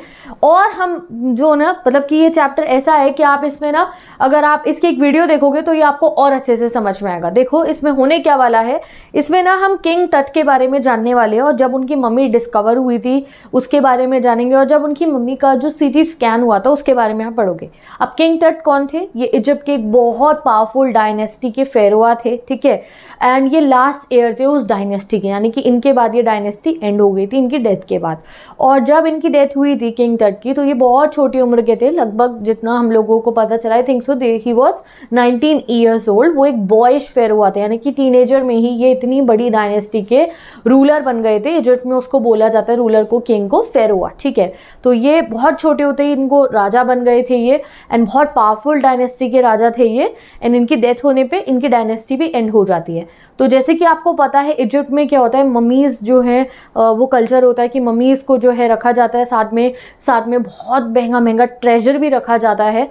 तो वही चीज़ आप समझोगे जब किंग टट की जो है डिस्कवर हुआ था, किंग टट कहाँ पे जो है उनकी मम्मी है तो वहाँ से भी खूब सारा खजाना निकला था और किंग टट के कॉफिन तक जो है उसको चेक करा गया था तो वो सब आप इस चैप्टर में पढ़ने वाले हो। अब मैं कौन सी वीडियो आपको कहती देखोगे तो और से समझ में आएगा। तो यूट्यूब पे एक वीडियो गिवन है, उसमें दिखा रखा है कि किस तरीके से जब कार्टर ने यानी कि जिन्होंने इनके टूम को डिस्कवर करा था, जहाँ पे इनकी मम्मी रखी गई है, और वहाँ पे पूरी इन्वेस्टिगेशन हुई थी, इतना बड़ा इनकी कॉफिन था मम्मी थी और उस पर असली गोल्ड का वो बना हुआ था, जैसे आप यहाँ मास्क देख सकते हो। एक एक वहाँ पे पूरे के पूरे जो रूम्स थे, जहाँ पे बरियल करा गया था, जितना ट्रेजर रखा गया था, सबकी एक छोटी सी शॉर्ट सी वीडियो है तीन सौ तीन चार मिनट की तो आप उसको देखना। जो अभी पूरा प्रोसीजर मैं आपको इस चैप्टर में बताने वाली हूँ, वो आपको वहाँ पर लाइव दिखाई देगा उस वीडियो के अंदर तो उसका link maybe I provide आप खुद भी देख सकते हो किंग टट डाल के आप सर्च कर लेना। बहुत इंटरेस्टिंग वीडियो है, आपको सब दिखाई देगा उसके अंदर। जो जो हमें चैप्टर में पढ़ाया जा रहा है, कि किस तरीके से किंग टट की मम्मी को जो है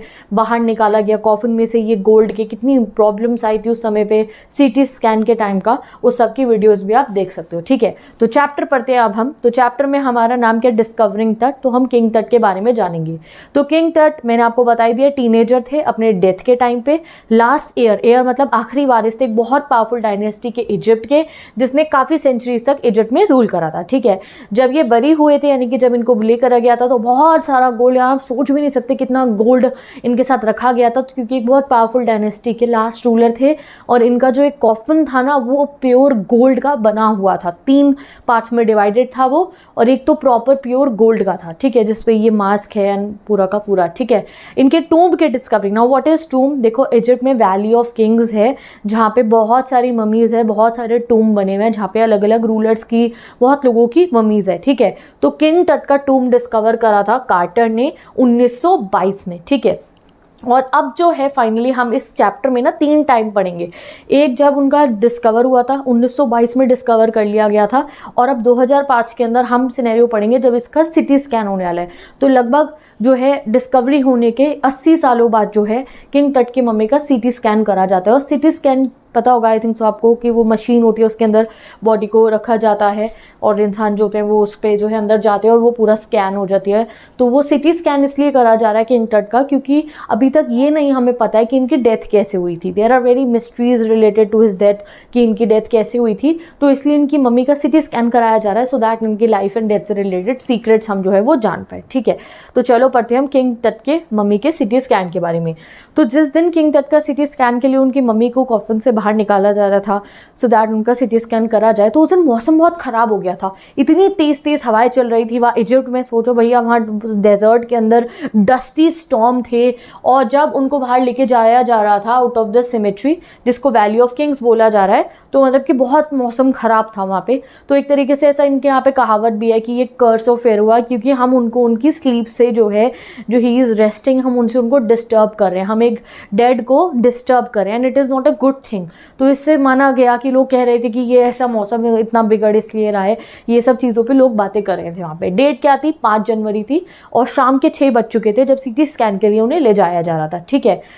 और जो है, उस समय में बहुत सारे लोग उनके जो टूम थे उसके अंदर थे। टूरिस्ट आए हुए थे बड़े देशों से इधर उधर से लोग आए हुए थे उनके टूम को देखने के लिए, क्योंकि ऑब्वियसली टूम उस समय पे खुला था ना तो वहाँ पे बहुत सारे लोग आए हुए थे, अंदर देख रहे थे, टूम की अलग अलग दीवारें। ऐसा सिंपल सा एक टूम नहीं था, यहाँ फ़ोटो में देखो चार पाँच कमरे थे अलग अलग हर कमरे में अलग अलग टाइप के जो है, आप समझो कि ट्रेजर रखा हुआ था। Daily day to day items भी रखी हुई थी तो लोग उनको देख रहे थे, दीवारों पर पेंटिंग हो रखी थी। सब विजिटर्स उस टूम को देख रहे थे, जो छब्बीस अंडरग्राउंड था, ठीक है? और कुछ लोग बातें कर रहे थे और कुछ में से उनमें से बातें करते हुए लोग वही कह रहे थे कर्स ऑफ़ फेरुआ के बारे में कि ये जो हम कर रहे हैं, इस तरीके से ये भी सही चीज़ नहीं है। ऐसा कहा जाता है कि जो लोग उनकी स्लीप को डिस्टर्ब करेंगे, जो लोग ऐसे मम्मीज़ को आके डिस्टर्ब करेंगे, उनके ऊपर जो है कोई कर्स होगा, यानी कि उनके साथ कुछ गलत होगा, ठीक है? तो ये बात रही सी स्कैन की। अब यहाँ से ना चैप्टर बिल्कुल एक टर्न ओवर ले लेता है और यहाँ हमें चैप्टर में बताया जाएगा कि किंग टट की मम्मी अब तो 2005 में, हमें पता है ये वाला टूम है भैया, यहाँ पे किंग टट की मम्मी है। बट इस मम्मी को डिस्कवर किसने करा था? वो करा था, मैंने आपको बताया था 1922 में किसने? कार्टर ने। उनका पूरा नाम था हॉवर्ड कार्टर और हॉवर्ड कार्टर ने जब इस को डिस्कवर करा था तो उन्होंने गलती भी कर दी थी। इन्होंने मम्मी को बहुत ज़्यादा नुकसान पहुँचा दिया था। वो कैसे, अभी आपको पता चलेगा।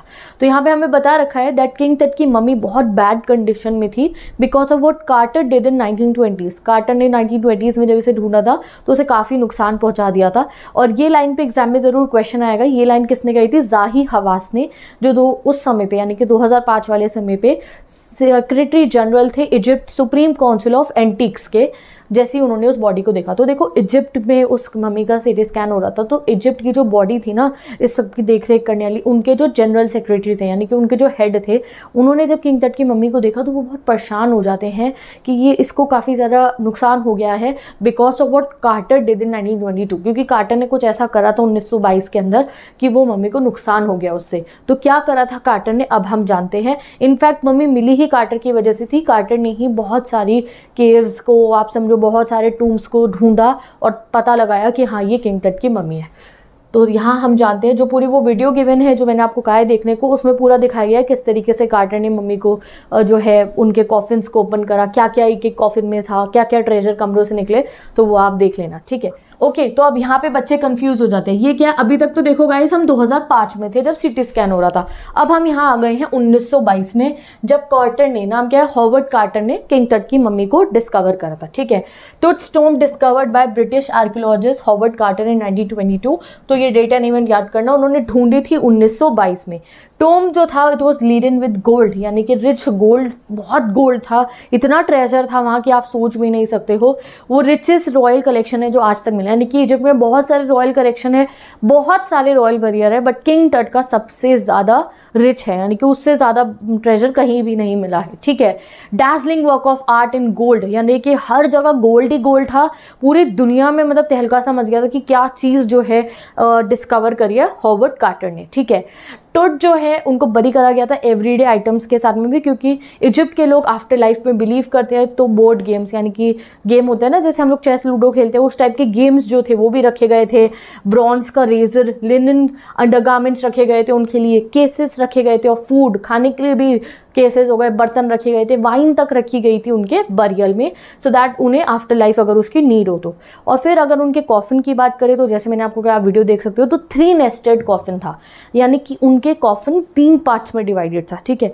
एक सबसे ऊपर था, फिर एक लकड़ी का बना हुआ हिस्सा था आई थिंक सो उस पर भी गोल्ड की परत थी, और एक सॉलिड गोल्ड का था फाइनली जिसके अंदर उनकी मम्मी को रखा गया था। तो इतना मतलब कि ह्यूज कॉफिन था वो। तो content of the first coffin में क्या है? तो आप देख सकते हो यहाँ फ़ोटो के अंदर, जो फ़र्स्ट कॉफन था, उसके अंदर श्राउड था decorated with garlands of willow and olive leaves तो एक श्राउड होता है कपड़ा एक तरीके से। वो था, उसके ऊपर बहुत सारे फूल थे। अब तो ऑब्वियसली वो डिके हो चुके थे, तीन हज़ार साल पहले की मम्मी थी ये। तो बहुत सारे लोटस पेटल्स अलग अलग तरीके के फूल रखे गए थे उस श्राउड के ऊपर। और ये इस टाइप के फूल ये शो करते हैं कि शायद मार्च और अप्रैल में जो है किंग टट का जो है बरियल हुआ होगा, क्योंकि ये उसी समय के फूल थे। और रिचुअल रीजन्स जो थे, यानी कि जिस तरीके से मम्मीफाई करा जाता होगा रीजन्स यानी कि केमिकल्स जो भी लगाए जाते होंगे उस ज़माने में, वो सब बॉडी से चिपक चुके थे। अब कॉफिन से भी पूरे चिपक चुके थे। तो बहुत ही मुश्किल था किंग टट की मम्मी को जो है बाहर निकालना उस कॉफिन के अंदर से, ठीक है? तो चलो आगे पढ़ते हैं हम। तो किंग तट की जो मम्मी जो है जब सामने आती है तो उसमें बहुत सारे ना ऑर्नामेंट्स होते हैं। किंग तट ने बहुत महँगी महँगी ज्वेलरी पहनी थी, बहुत सारी जो है आप समझो कि नेकलेसेस थे, वो था, ताज था, सर का, सब प्योर गोल्ड का बना हुआ। और इनफैक्ट जो कॉफिन था कॉफन इट आप इस फ़ोटो में देखो, ये प्योर गोल्ड का है और इस कॉफन से जो किंग टट की मम्मी थी, नीचे से चिपक चुकी थी बिल्कुल रेजेंस की वजह से। अब क्या करते हैं ये हॉवर्ड कार्टर जी? वो कहते हैं कि अब मैं इसको ऐसे नहीं छोड़ सकता हूँ, क्योंकि अगर ये इस गोल्ड कॉफन को और एडोनमेंट्स को अगर ये ऐसे ही छोड़ देंगे तो चोर आ जाएँगे यहाँ पे कभी ना कभी हमारे जाते और वो सब इस ट्रेजर को ब्यूटिफुल ट्रेजर को चोरी करके ले जाएँगे। तो अब उनको क्या करना था कि किंग टट के जितने भी एडोनमेंट्स है ऑर्नामेंट्स वगैरह है सुंदर सुंदर गोल्ड के प्रेशियस गोल्ड के बने हुए, उन सबको बाहर निकालना था मम्मी से। और उस मम्मी को भी उनको जो है गोल्ड कॉफिन से बाहर निकालना था, क्योंकि वो वो आइटम्स तो वो म्यूज़ियम में रख सकते हैं बट ये करना आसान नहीं था, क्योंकि जो गोल्ड कॉफन था, उससे जो किंग टट की मम्मी थी, वो नीचे से बिल्कुल चिपक गई थी।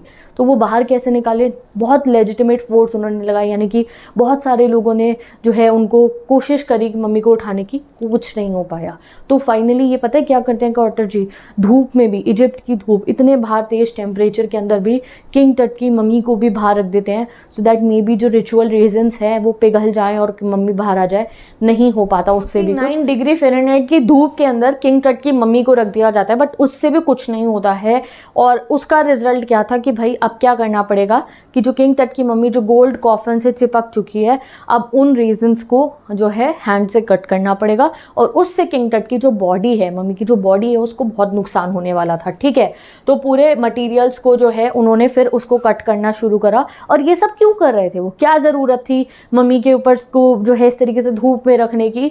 तो ज़ाहिर वो जो है हॉवर्ड कार्टर क्या कहते हैं? बिकॉज़ ऑफ़ दिस ट्रेजर क्योंकि सब कुछ, ये सब जो उनको ऐसे धूप में रखा गया मम्मी को इतना दिस इज़ ऑल इज़ सोचो आपकी कि ये बहुत डिस्पेक्टफुल चीज़ है। अच्छी चीज़ नहीं है ये। तो वो क्या है इन्होंने ये इसलिए कर रहे हैं क्योंकि अगर हम ऐसा नहीं करेंगे तो कोई ना कोई चोर आ जाएँगे और वो फिर ध्यान नहीं रखेंगे कि ये क्या है, क्या नहीं है। वो सब कुछ यहाँ से लूट के ले जाएँगे। तो प्रेशियस कॉलर्स को कॉलर क्या? गले के, सोने के बने हुए। आप देख लो वो वीडियो के अंदर, सब कुछ दिखा रखे उसमें। इतने ब्यूटीफुल जो है ज्वेलरी साथ में necklaces bracelet ring amulets ceremonial apron हो गया सैंडल हो गए। और साथ ही के साथ में फिंगर पे भी बहुत सारे उनके रिंग्स होंगी टोज़ में भी रिंग्स होंगे, उनके कॉफिन हो गया, उनका कॉफिन ही प्योर गोल्ड का बना हुआ था। इस सबको बचाने के लिए चोरों से ही हैड टू डू दिस ठीक है? तो उन्होंने किंग टट की मम्मी के हेड को भी रिमूव करा और एक एक जॉइंट को रिमूव करके इन सब ऑर्नामेंट्स को बाहर निकाला। एंड देन फिर से जो है लेयरिंग करके मम्मी की, उसको वापस जो है उन्होंने रख दिया, ठीक है? उसको मम्मी को बाहर निकालने के लिए भी, रखने के लिए भी बहुत मुश्किल हुआ करती थी।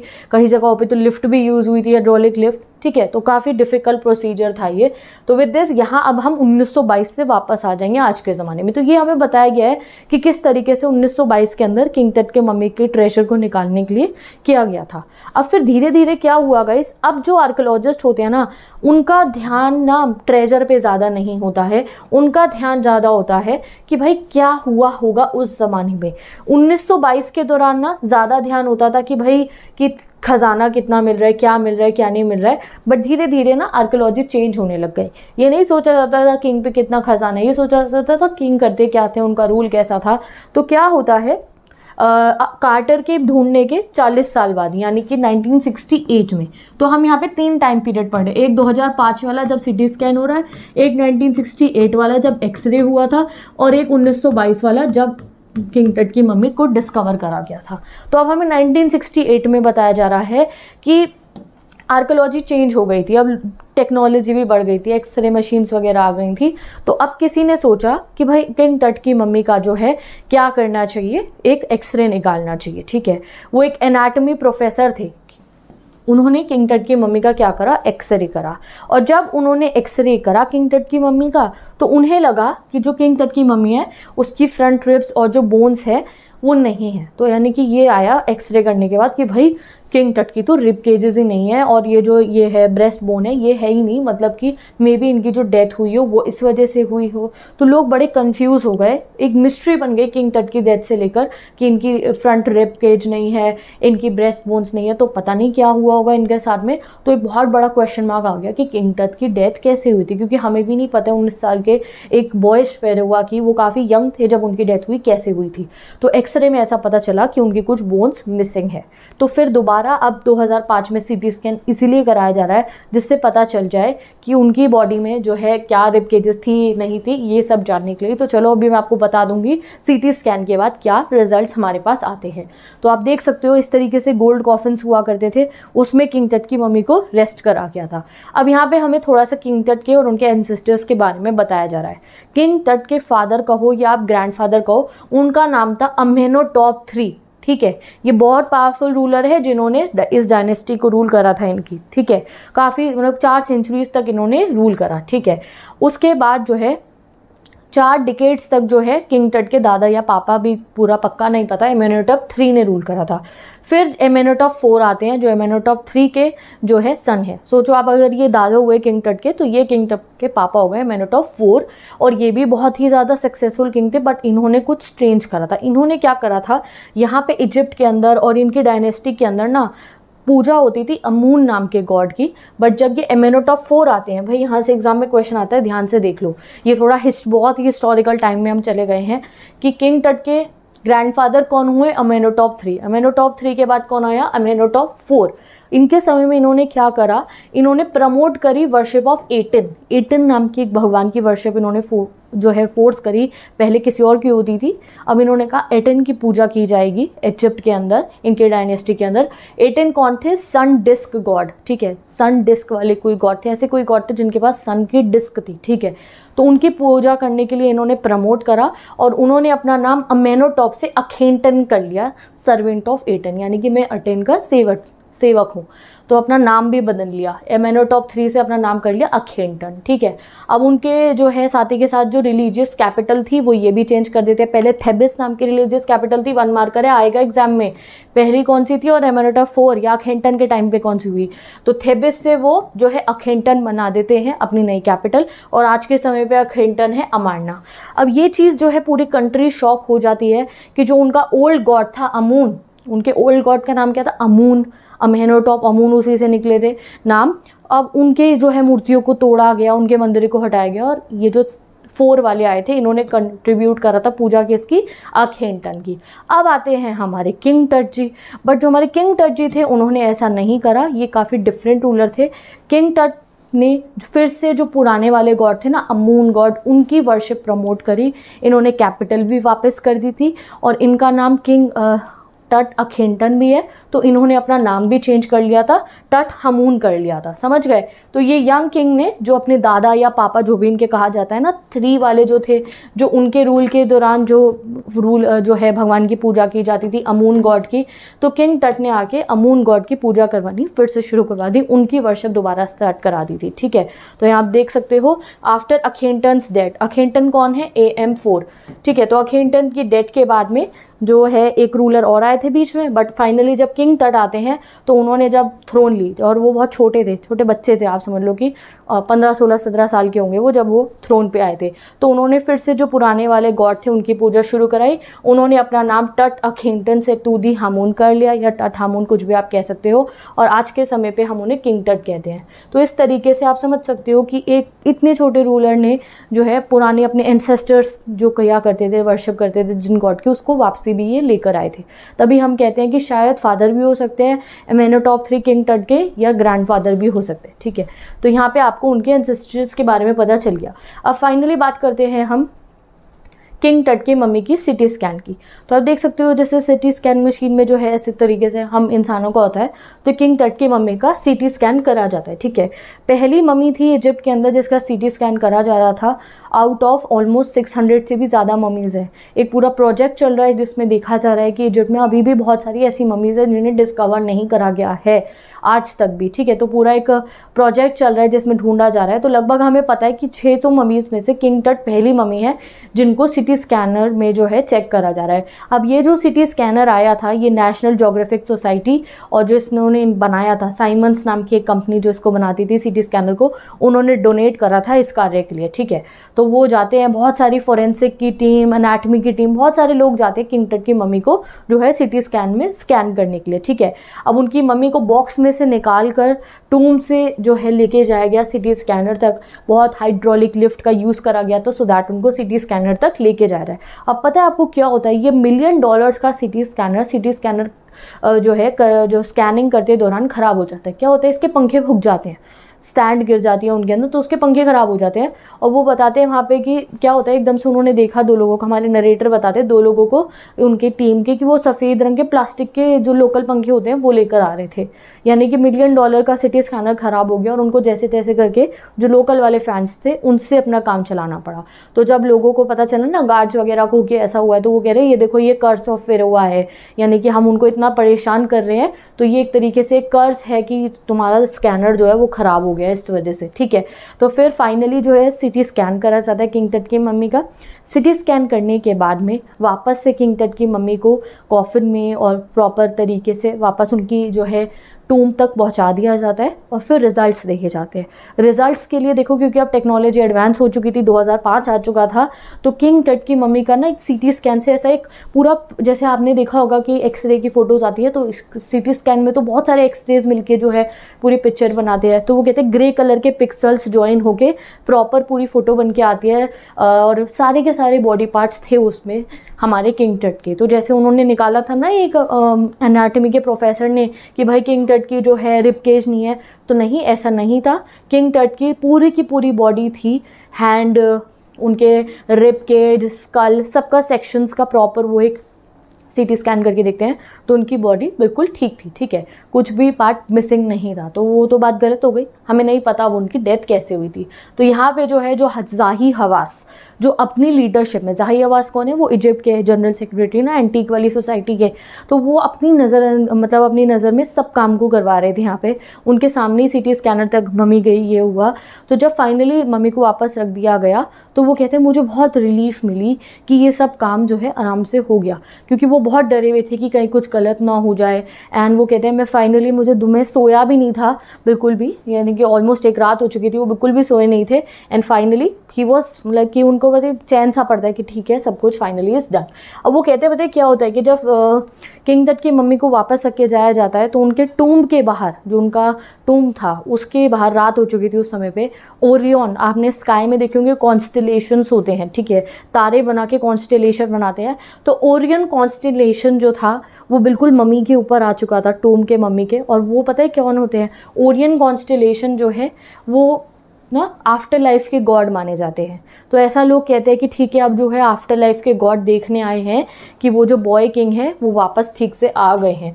तो जब हमारे जो है ये जाही आवाज़ जी ने और जब लोगों ने देखा ना कि अब वापस से टूम में जो है किंग तट की मम्मी चली गई है और आसमान में डिज़र्ट में, आप सोचो कि काली रात कितनी ज़्यादा होती होगी, उसमें पूरे तारे चमक रहे थे और ओरियन जो गॉड थे आफ्टर लाइफ के उनका कॉन्स्टलेशन दिख रहा था तो लोगों ने कहा कि देखो, भगवान आ गए हैं, वापस से देखने के लिए कि उनका जो बॉयज़ फेयर हुआ है, उनकी टेक केयर करने के लिए। तो विद दिस ही आपका चैप्टर कंप्लीट हो जाता है। तो चैप्टर बहुत आसान था। सिंपल ये है, हमें तीन टाइम पीरियड बताते हैं तो हम कंफ्यूज हो जाते हैं। पहला क्या है कि जब सिटी स्कैनर के लिए जाया जाता है, बहुत सारे टूरिस्ट आते हैं 2005 में। फिर हम 1922 में पहुँच जाते हैं जब कार्टर ने मम्मी को ढूंढा था और कॉफिन्स को चेक करा था, ठीक है? फिर 2000 आप लोगों को 1968 का बताया गया जब एक्सरे हुआ था और कहा गया रिपकेज नहीं मिले किंग तट के। फिर किंग तट के एनसेस्टर्स के बारे में आपने पढ़ा। आपको याद करना है मेरिटो फोर और अखेंटन के बारे में जिन्होंने सारे सिस्टम्स चेंज कर दिए थे। और फिर टट अखेंटन यानी कि जो हमारे तूदी हामून है इन्होंने आगे सब कुछ पहले जैसा कर दिया था। फिर जब उनका सी स्कैन होता है तो पंखे ख़राब हो जाते हैं, ये याद रखना। एंड फाइनली जो है सी स्कैन का रिज़ल्ट क्या आता है? दैट उनकी रिपकेजेस हैं, जैसा कि एक्सरे में कहा गया था, वैसा नहीं हुआ। तो विद दिस ये चैप्टर आपका कंप्लीट हो को पढ़ाऊँगी क्लास इलेवन के इंग्लिश का चैप्टर द एडवेंचर ये जो चैप्टर है, ये लिटरली डिफ़िकल्ट चैप्टर है। और आज मैं पूरी कोशिश करूँगी कि आपको ये चैप्टर बहुत ईजी लैंग्वेज में समझा दूँ। देखो, ये चैप्टर एक एडवेंचरस चैप्टर है डिफ़िकल्ट के साथ साथ इंटरेस्टिंग भी बहुत है।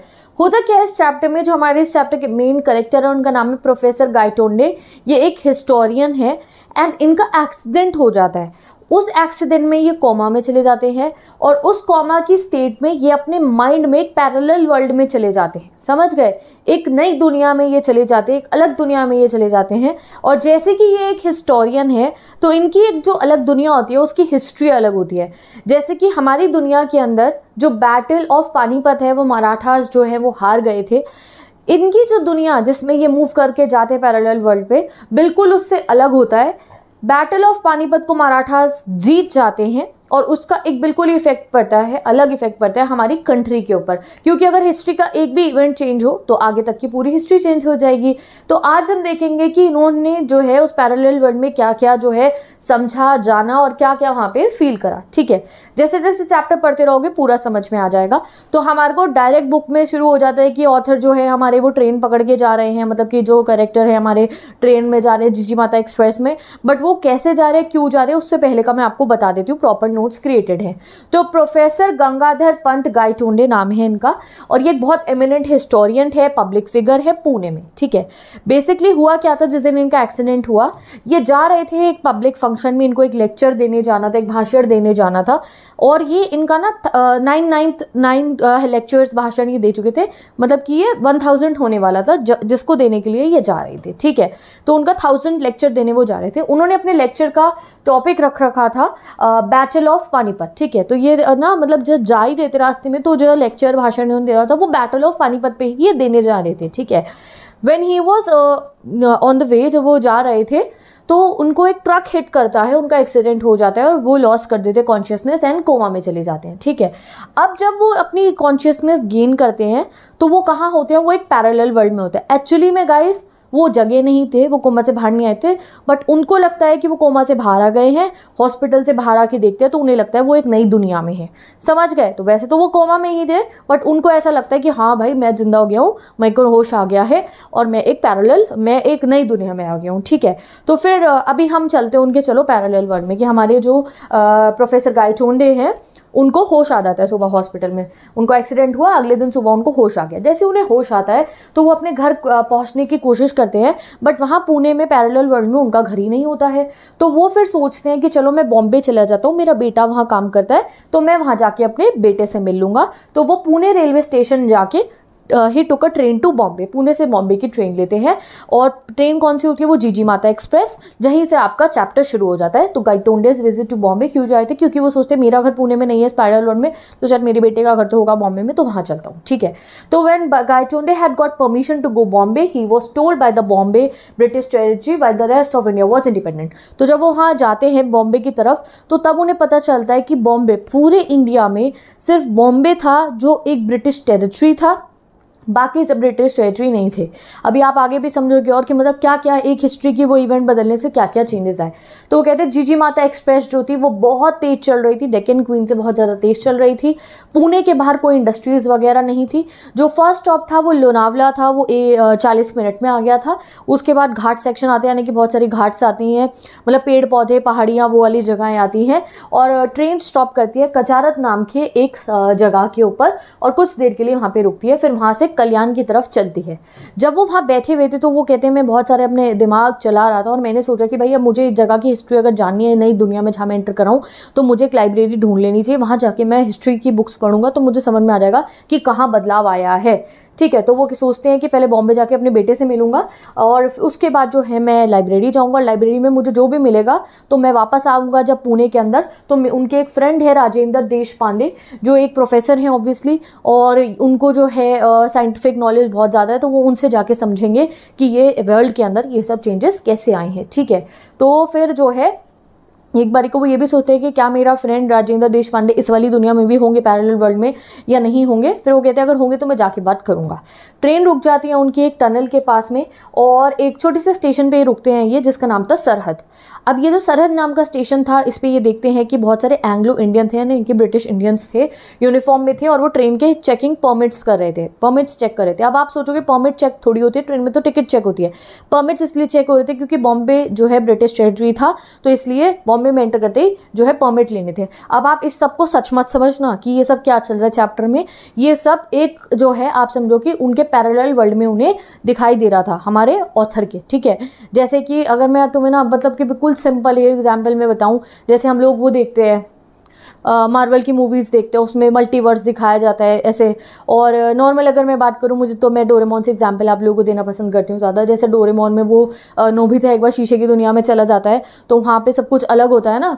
तो उसी तरीके से आप समझो कि हमारे ऑथर अलग पैरेलल वर्ल्ड में चले गए हैं तो वहाँ पे उन्हें एक हिस्टोरिकल इवेंट का चेंज दिखाई दे रहा है, उससे पूरे हमारे कंट्री जो है अलग है, ठीक है? तो फिर जो है, वो कहते हैं, उस समय जब मैं ट्रेन में था तो वहाँ पे मुझे खान साहिब मिलते हैं। और खान साहिब जो है गायटोंडे से पूछते पहली बार बॉम्बे जा रहे हो? तो वो कहते हैं हाँ। क्योंकि मैं इस वाली दुनिया में पहली बार बॉम्बे जाते वैसे तो मैं बॉम्बे बहुत बार गया हूँ। तो मैंने खान साहब को कहा हाँ मैं पहली बार बॉम्बे जा रहा हूँ। और खान साहब जी जा रहे थे, पेशावर, ठीक है?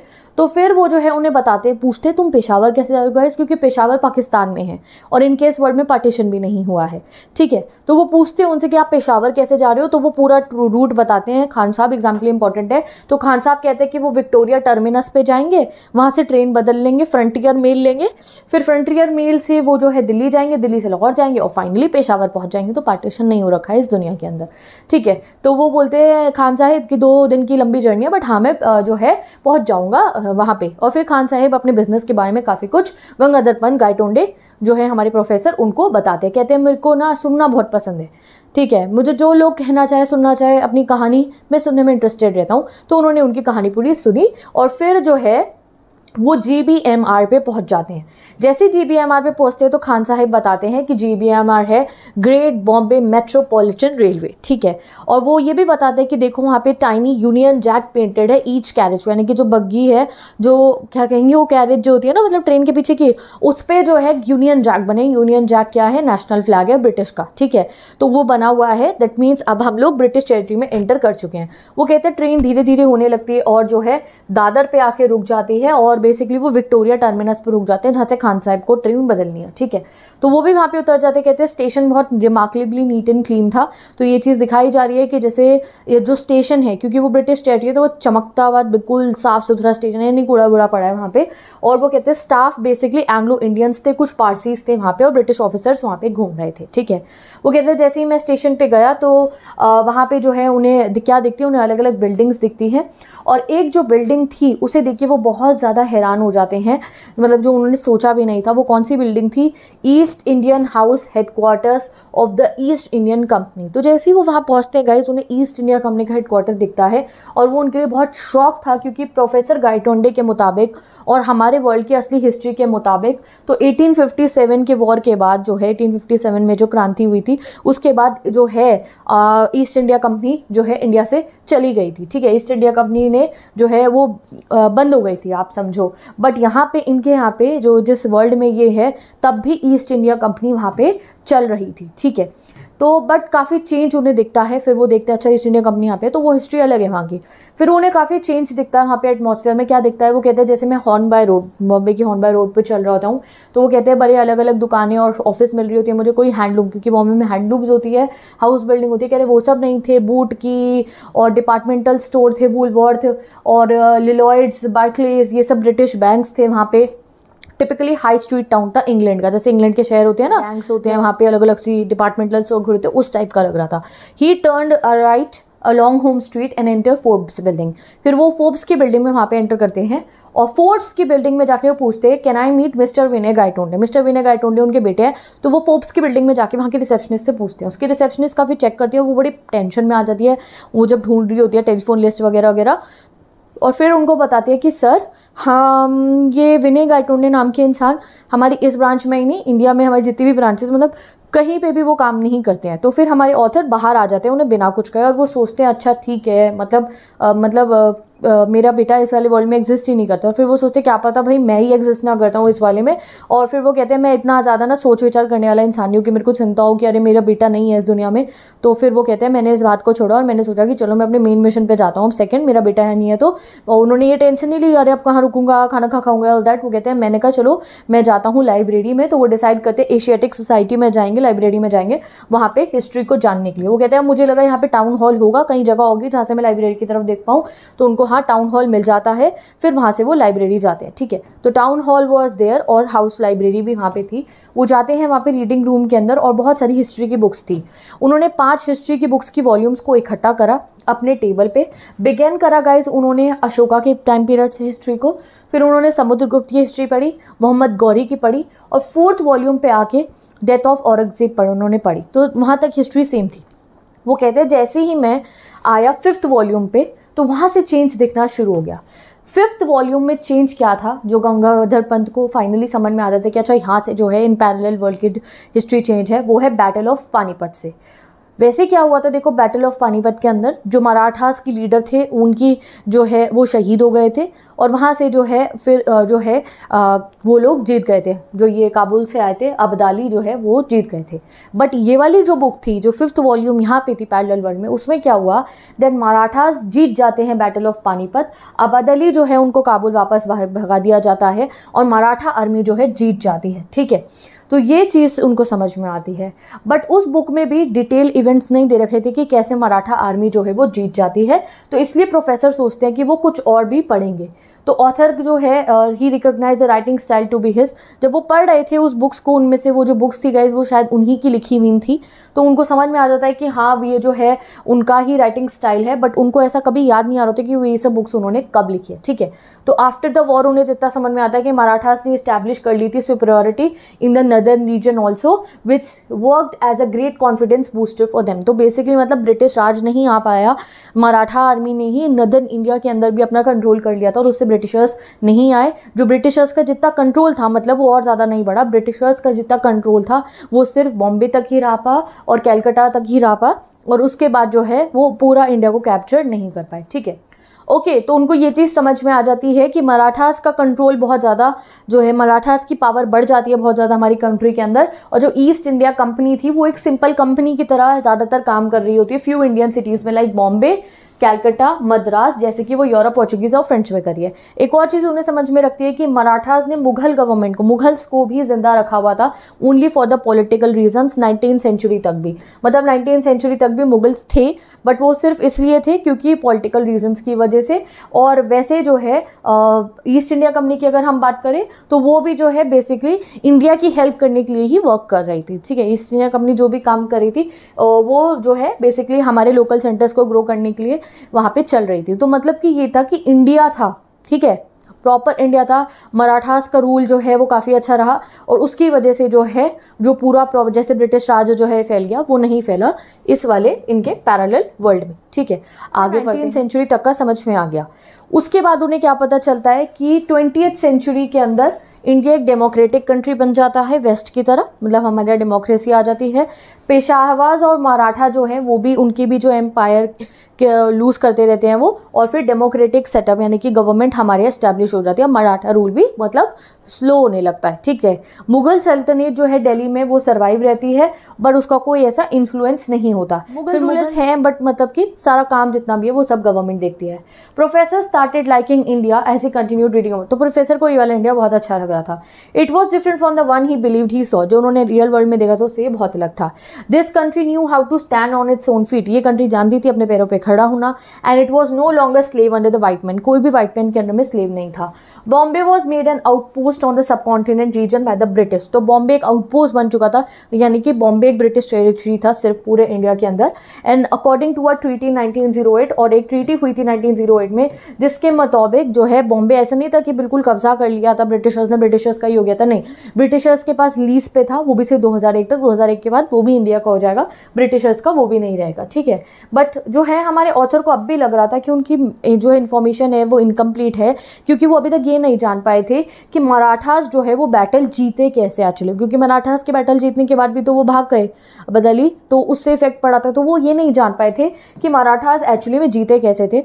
तो वो फर्दर स्टडी करने के लिए वो कहते हैं एक और बुक लेते हैं वो किसकी थी? वो भाऊ साहिब बंची बखार की बुक थी। कहते हैं वो कि मैं बखार की बुक्स पे वैसे इतना रिलाय नहीं करता हूँ, क्योंकि वो एंटरटेनमेंट के लिए ज़्यादा होती थी, यानी कि उसमें हिस्टोरिकल इवेंट्स के साथ कुछ बातें मिक्स भी कर रखी होती थी। बट वो कहते बट फिर भी मुझे जो है जानना था कि भाई, कैसे जो है मराठास जीते थे तो मैंने उनकी बुक जो है वो स्टडी करी। उनकी बुक में उन्हें पता चलता है कि जो विश्वास राव थे, जो मराठा आर्मी के लीडर थे, सच्ची में क्या हुआ था दैट जब उनको बुलेट लग गई थी और वो शहीद हो गए थे तो उनके शहीद होने के बाद जो मराठा आर्मी थी, उनका मोरल लूज़ हो गया था और हार गए थे जंग वो। तो क्या होता है यहाँ पे कि विश्वास राव को जो बुलेट है, वो लगती नहीं है, वो उनके पास से निकल के चली जाती है और इससे क्या होता है, मराठास जो है वो जीत जाते हैं। तो इस वर्ल्ड में ये लिखा हुआ था दैट ये रीज़न था जिससे मराठास जो जीत गए थे, विश्वास राव जी जो है शहीद नहीं होते और वो जीत जाते हैं, ठीक है? अब वो इतना सब कुछ पढ़ ही रहे होते कि वहाँ लाइब्रेरियन आ जाता है और वो उन्हें कहते हैं कि भाई आप जो है कल ये सब बुक्स पढ़ सकते हो, अभी हमें लाइब्रेरी बंद करने का टाइम आ गया है बंद करने का टाइम आ गया है। तो आर्थर पूछते तो कल कब खुलेगी? तो वो कहते हैं एट ओ क्लॉक खुलेगी ठीक है? तो ऑथर उनको ये भी बोलते हैं दैट क्या आप ये जो टेबल पे जो बुक्स मैंने रखी है यहीं रखे रहने दे सकते हो जिससे मैं कल आके फिर से पढ़ लूँ? दोबारा ढूँढने में टाइम नहीं लगेगा। तो वो लाइब्रेरियन कहता है ठीक है वो भी खुश था कि इतने समय बाद कोई पढ़ने के लिए आया एटलीस्ट लाइब्रेरी में। वो क्या करते हैं वो एक नोट्स बनाए होते हैं जो उन्होंने बुक पढ़ते हुए नोट्स बना रहे होते हैं वो ये सब पाँच वॉल्यूम्स पढ़ते हुए। तो एक नोट का पीस जो है वो अपनी जेब में रख लेते हैं वो अपनी राइट पॉकेट के अंदर जो भाकर की बुक थी उसको भी रख लेते हैं गलती से। मतलब देखो उन्होंने क्या करा बेसिकली उन्होंने लाइब्रेरी से बुक रख लिया और वो कहते हैं, मैंने बाय मिस्टेक लाइब्रेरी से एक बुक अपने जेब में रख ली थी राइट वाले में बुक रखी थी प्रॉपर भाकर की, जिसमें लिखा हुआ था ये वाली चीज़ कि विश्वास राव को गोली नहीं लगी थी दैट वो बुलेट वाली चीज़ जो इसमें लिखी हुई थी और दूसरी पॉकेट में लेफ़्ट पॉकेट में वो एक नोट रखते हैं, ठीक है। फिर वो जो है कहते हैं, मैं गेस्ट हाउस ढूंढता हूँ, वहाँ पे मैंने रहा मतलब पैरल वर्ल्ड में गेस्ट हाउस ढूंढा, वहाँ पे वो रहे चीप मीट खाया वहाँ पे डिनर में ठीक है? फिर वो कहते फिर मैंने सोचा मैं आज़ाद मैदान की तरफ़ चला जाता हूँ क्योंकि वहाँ पे बहुत सारा क्राउड था। बेसिकली असली दुनिया में भी उन्हें आज़ाद मैदान में ही भाषण देने के लिए जाना था तो वो पैरेलल वर्ल्ड में भी आज़ाद मैदान की तरफ़ चले जाते हैं। वो कहते हैं जैसे ही मैं आज़ाद मैदान में गया तो वहाँ पंडाल लगा हुआ था। कह रहे मैंने जैसे ही स्टेज पर देखा तो मैंने वहाँ पर मेरी एक चीज़ ने मेरी अटेंशन ग्रैप करी। अटेंशन इस चीज़ ने ग्रैप करी उनकी जो प्रेजिडेंशियल चेयर थी यानी कि जो प्रेजिडेंट की चेयर थी वो खाली थी तो उनको पता नहीं क्या हुआ वो जाके उस चेयर के ऊपर बैठ गए, ठीक है? तो जो स्पीकर था, उन्होंने जो मतलब वहाँ भाषण दे रहा था, उसने इनको रोका और कहा कि क्यों तुम इस चेयर के ऊपर बैठे हो?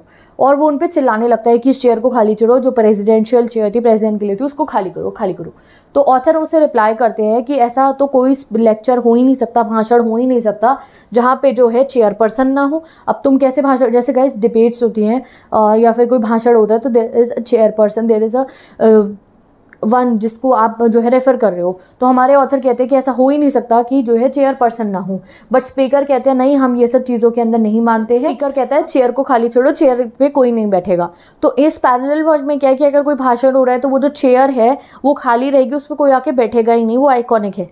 बट हमारे ऑथर को ये चीज़ पसंद नहीं आती है। ऑथर नहीं कहेंगे, जो हमारे प्रोफेसर गाइटोन ने उन्हें ये चीज़ पसंद नहीं आती है। वो कह रहे हैं, मैं गया स्टेज पे, मैंने माइक लेके भाषण देना शुरू कर दिया कि क्यों चेयर खाली नहीं छोड़नी चाहिए? उन्होंने बोला कि, भाई चेयर को यहाँ पे खाली रखना है। इसका मतलब तो ये हो गया, जैसे कि शेक्सपियर के हैमलेट में प्रिंस ऑफ़ डेनमार्क ही नहीं है। तो अगर आपने शेक्सपियर की हैमलेट नहीं पढ़ी है तो चलो जब आप ग्रेजुएशन में अगर इंग्लिश करेंगे तो मैं पढ़ा दूँगी आपको। तो शेक्सपियर के हेमलेट में प्रिंस ऑफ़ डेनमार्क जो एक बहुत इंपॉर्टेंट कैरेक्टर है तो उनके बिना तो ये प्ले आगे ही नहीं बढ़ सकता है। तो बेसिकली वो ये कह रहे हैं कि भाषण में चेयर अगर खाली है, वहाँ पे जो है नहीं है वो बैठे हुए जो चेयर पर्सन है तो वो क्या है? ये कैसा भाषण आप कर रहे हो? तो वो ऐसे कहते हैं कि नहीं, यहाँ पे कोई होना चाहिए। और वो अपना आगे बोलना शुरू कर देते हैं। तो इतने में लोग उन पर गुस्सा हो जाते हैं और उनके ऊपर कहते हैं कि हमें नहीं सुनना तुम्हें, हमें नहीं सुनना तुम्हें। हम लोग इन सब चीज़ों में बिलीव नहीं करते कि चेयर पर्सन होना चाहिए। नहीं चेयर पर्सन आके झूठे वादे करके जाते हैं लोगों को। हम लोग जो है इस चीज़ में नहीं मानते हैं। तो यहाँ देखो ये पैरल वर्ल्ड में क्या है? वो चेयर पर्सन के ऊपर जो है, यानी कि एक जो चेयर है, वहाँ पर बैठ के उसको रेफ़र करके जो है स्पीकर बात नहीं करेंगे। इस चीज़ में ये ओल्ड कस्टम में ये लोग नहीं मानते, ठीक है? वो नहीं कहते आप हट जाओ यहाँ से, हमें तुम्हें नहीं सुनना है, हमें सिर्फ़ अपने स्पीकर को सुनना है। बट प्रोफेसर अपनी स्पीच देने लगते हैं। ऑडियंस गुस्सा हो जाती है, उनके ऊपर टमाटर, अंडे, पता नहीं क्या क्या फेंकने शुरू हो जाती है। और फिर वहाँ पे एक टाइप की भगदड़ मच जाती है और एकदम से ऑथर गायब से हो जाते हैं वहाँ पे, ठीक है? अब जो है, एकदम से क्या होता है, जब ये भगदड़ मचती है तो शायद ऑथर के जब पैरल वर्ल्ड में ऑथर बेहोश थे ना कोमा में थे बेसिकली तो जब वो आज़ाद मैदान में वो टमाटर वमाटर गिरते हैं और भगदड़ मचती है तो उन्हें रियल वर्ल्ड में भी गाइज़ होश आ जाता है, ठीक है? ये काफ़ी मुश्किल लगता है चैप्टर बट अब समझ में आ रहा आई होप आपको आ रहा है तो बताते रहो कमेंट सेक्शन में तो उनको रियल वर्ल्ड में भी होश आ जाता है आज़ाद मैदान की भगदड़ के बाद, लोग उन्हें जब हटाने आते हैं स्टेट से तो फिर वो पहुँच जाते हैं रियल वर्ल्ड में, और वो रियल वर्ल्ड में पुणे में जो उनके दोस्त थे राजेंद्र जी, उनके पास चले जाते हैं प्रोफेसर राजेंद्र के पास, और उनको ये सब बताते हैं प्रोफेसर राजेंद्र उन्हें बताएँगे कि क्यों उन्होंने इन सब चीज़ों को जो है फेस करा, क्यों वो एक ऐसे पैरल वर्ल्ड में पहुँच गए, ठीक है? तो he narrated everything that he saw उन वो जो भी उन्होंने कोमा के समय में वो जो पैरल वर्ल्ड में देखा, वो सब वो बताते हैं आज़ाद मैदान वाली पूरी की पूरी घटना एवरीथिंग टू राजेंद्र जी। राजेंद्र जी उनकी ये बात सुनकर जो है काफ़ी हैरान हो जाते हैं और रिप्लाई करते हैं और उनसे ये पूछते हैं कि तुम जब, तुम्हारे ट्रक से जब टक्कर हुई थी, उससे पहले तुम क्या सोच रहे थे? तो हमारे जो ये बताते हैं प्रोफेसर कि उस समय वो कैटास्ट्रॉफिक थ्योरी के बारे में सोच रहे थे।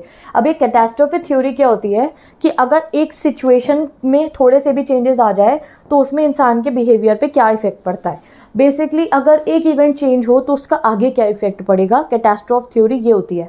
जैसे हिस्ट्री में ऐसे सोचा जाता है कि अगर उस मोमेंट पे, जैसे आप सोचो कि ये बैटल अगर नहीं हारी होती तो आगे हिस्ट्री कैसे होती? अगर ब्रिटिशर रूल अगर इंडिया में आया ही ना होता इस्टेब्लिश नहीं हो पाता तो आज इंडिया कैसा होता? तो इस टाइप की कैटास्ट्रोफिक इवेंट के बारे में ही जब वो आज़ाद मैदान की तरफ़ जा रहे थे गाइज़ वो सोच रहे थे। वो राजेंद्र जी को ये समझाते हैं। तो राजेंद्र जी को हँसी आती है कि अच्छा ये तो जो के टक्कर से पहले ये सब बातें सोच रहा था तो ऑब्वियसली उनको ये बेहोशी में ये सब चीज़ें दिखाई दी होंगी। तो वो कहते हैं नहीं ऐसा नहीं था। देखो मैं अपना जो है ऐसा नहीं मेरा माइंड मेरे साथ ट्रिक्स कर रहा था। बेसिकली वो अपनी पॉकेट के अंदर से वो नोट्स निकालते हैं जो उन्होंने अपनी लेफ़्ट पॉकेट में रखा था ना उस बुक में से बाहर करके निकालते हुए।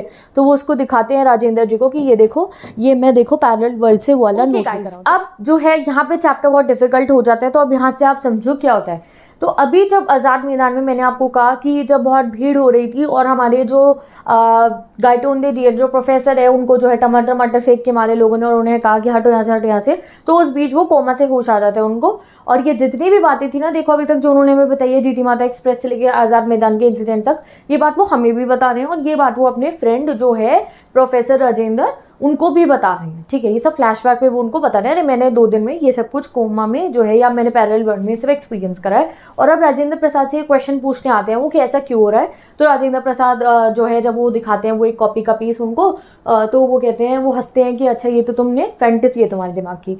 तो यहाँ पर हमारे को जो गाइटोंदे जी हैं, अपने दोस्त को बोलते हैं कि, रुको, मेरे पास प्रूफ है। देखो, ये जो पेपर है, ये देखो, ये मैं वहाँ से लेकर आया हूँ जब मैं वर्ल्ड में था। उस पेपर को देखकर हमारे जो राजेंद्र जी हैं, जो उनके फ्रेंड है वो बहुत हैरान हो जाते हैं कि वो एक पेपर जो था वो पेपर फटा हुआ पीस जो था बा, बाखर की बुक का वो एक एविडेंस था कि हाँ वो पैरल वर्ल्ड में थे उनके लिए। तो वो कहते हैं देखो ये बाखर वाली बुक जो मैं वहाँ से लाया पैरल वर्ल्ड से उसका एक फटा हुआ पेज है। पेज मेरे पास कैसे आया? जब आज़ाद मैदान की लड़ाई में शायद बुक गिर गई होगी एक ही पेज मेरे पास रह गया है। और मैं आज के समय की मतलब कि जो हमारा रियल वर्ल्ड है उसकी जो भाकर की बुक है वहाँ से ये सेम पेज ये लाया हूँ उसको पढ़ो। तो वो दोनों पेजेस को पढ़ते हैं राजेंद्र जी। जो एक फटा हुआ पेज वो पैरल वर्ल्ड से लाए थे, उसको भी, और जो भाकर की असली किताब है हमारी दुनिया की, उसको। जो फटा हुआ पेज है उस पर लिखा हुआ था कि जो विश्वास राव जी उन्हें बुलेट नहीं लगती है तो वो शहीद नहीं होते हैं और जो आर्मी है, उसका कॉन्फिडेंस और ज़्यादा बढ़ जाता है और वो मराठा आर्मी जीत जाती है। जो भाकर की असली बुक थी हमारी वर्ल्ड की, उसमें लिखा हुआ था कि विश्वास राव जीत तो शहीद हो जाते हैं। उसके साथ में जो उनके अंकल थे भाव साहिब, वो भी मिस कहीं पर गुम हो जाते हैं वो पूरे के पूरे युद्ध के अंदर, मेले में। मेले मतलब जो युद्ध हो रही थी, युद्ध के बीच में वो कहीं गायब हो जाते हैं, पता नहीं उनकी जो है वो भी शहीद हो गए या वो कहीं खो गए, क्या हुआ, पता ही नहीं चलता असलियत में। और उससे जो है मराठा आर्मी को लगता है कि वो अपने सभी लीडर्स को खो चुके हैं, उनका मोरल डाउन हो जाता है। और मराठा हार जाते हैं। ठीक है? वैसे वो कहते हैं कि वैसे तो मराठा आर्मी और जो अदाली थी वो बिल्कुल जो है आपस में टक्कर की थी। बस जो है जब लीडर्स नहीं रहते मराठा आर्मी के, विश्वास राव भी नहीं रहे और उनके अंकल भी तो फिर वो हार जाती है मराठा आर्मी। ठीक है? ये असलियत में हुआ था। उनकी जो दूसरी वाली बुक थी जो वो वहाँ से लेकर आते हैं पैरल वर्ल्ड से, उसमें लिखा था कि उनको बुलेट नहीं लगती है और मराठा आर्मी जीत जाती है और यहीं से सारे चेंजेस होते हैं। अब यहाँ पर राजेंद्र प्रसाद बहुत कन्फ्यूज़ हो जाते हैं कि ये सब कैसे हुआ और हमारे गाइटोंडे जी आंसर मांगते हैं कि ऐसा कैसे हुआ, मैं कैसे पैरल वर्ल्ड में पहुँच गया।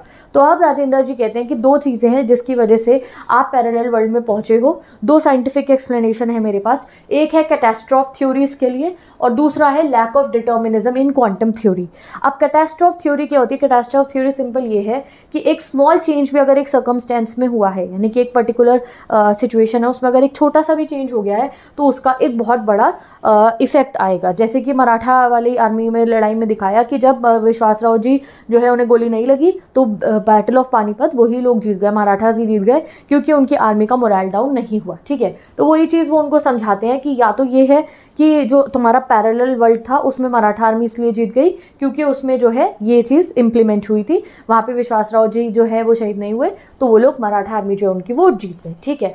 अब फिर वो ये भी पूछते हैं कि पर्टिकुलरली वो वहाँ तक पहुँचे कैसे होंगे।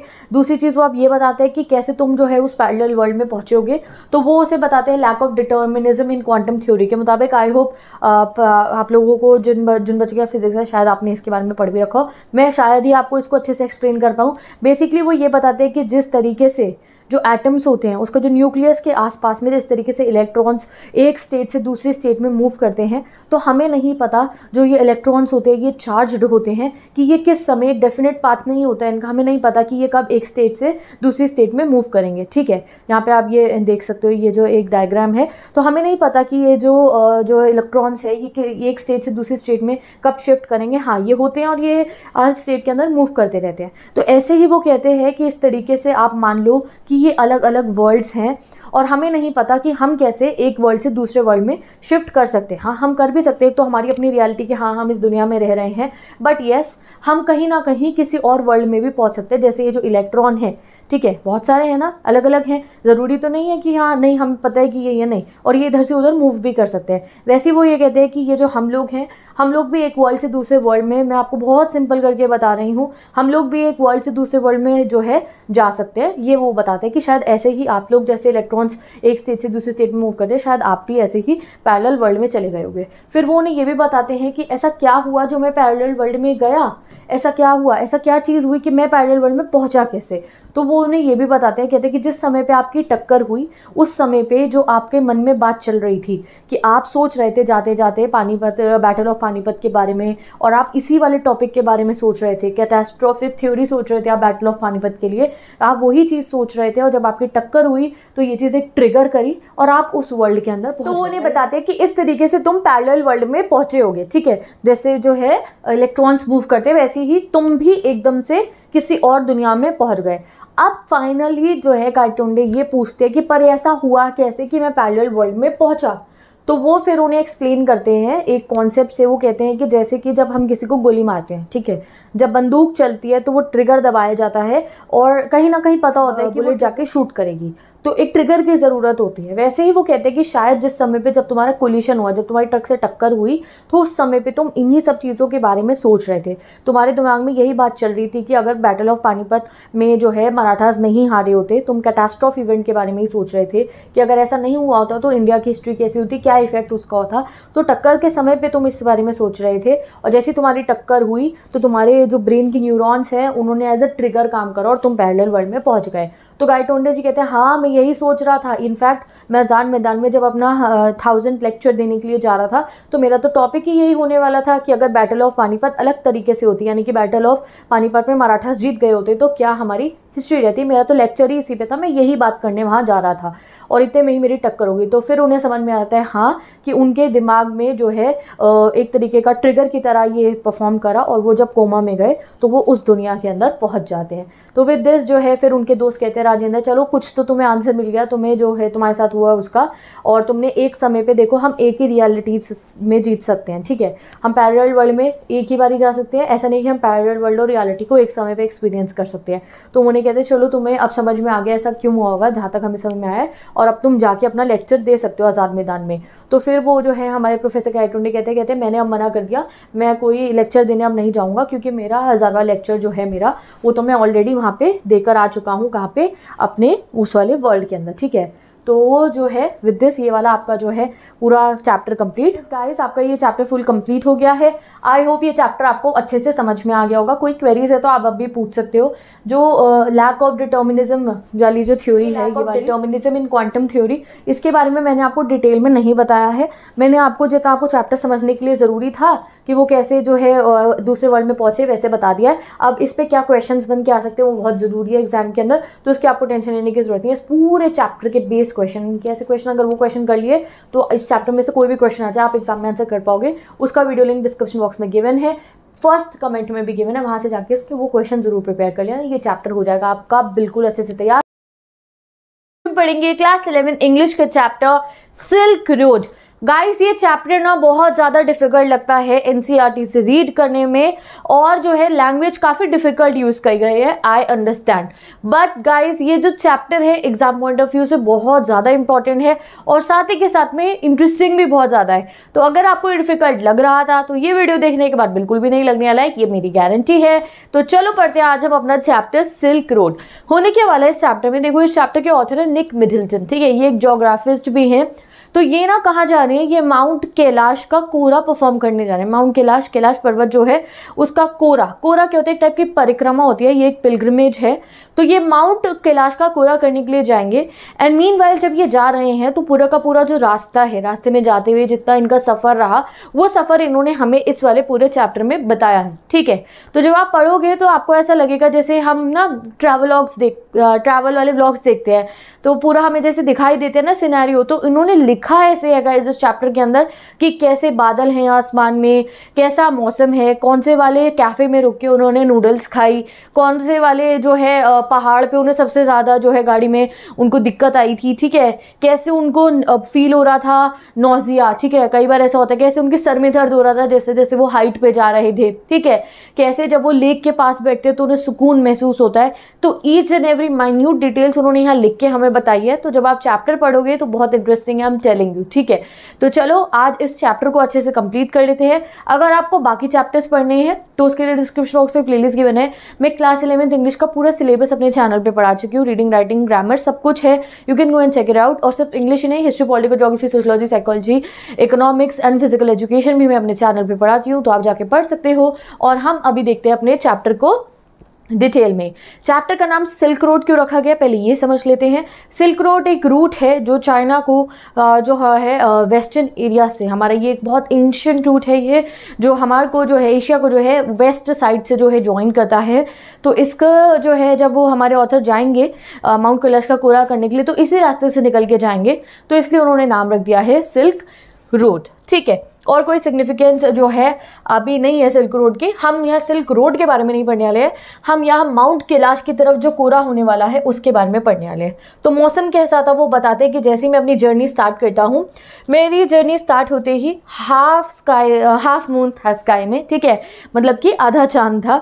बहुत ही सुहावना मौसम था, वो कह रहे थे। ऐसा लग रहा था कि जैसे आसमान के अंदर एक पिंक शेड है रोज टिंटेड शेड है पिंकिश सा माहौल था ऊपर आसमान के अंदर।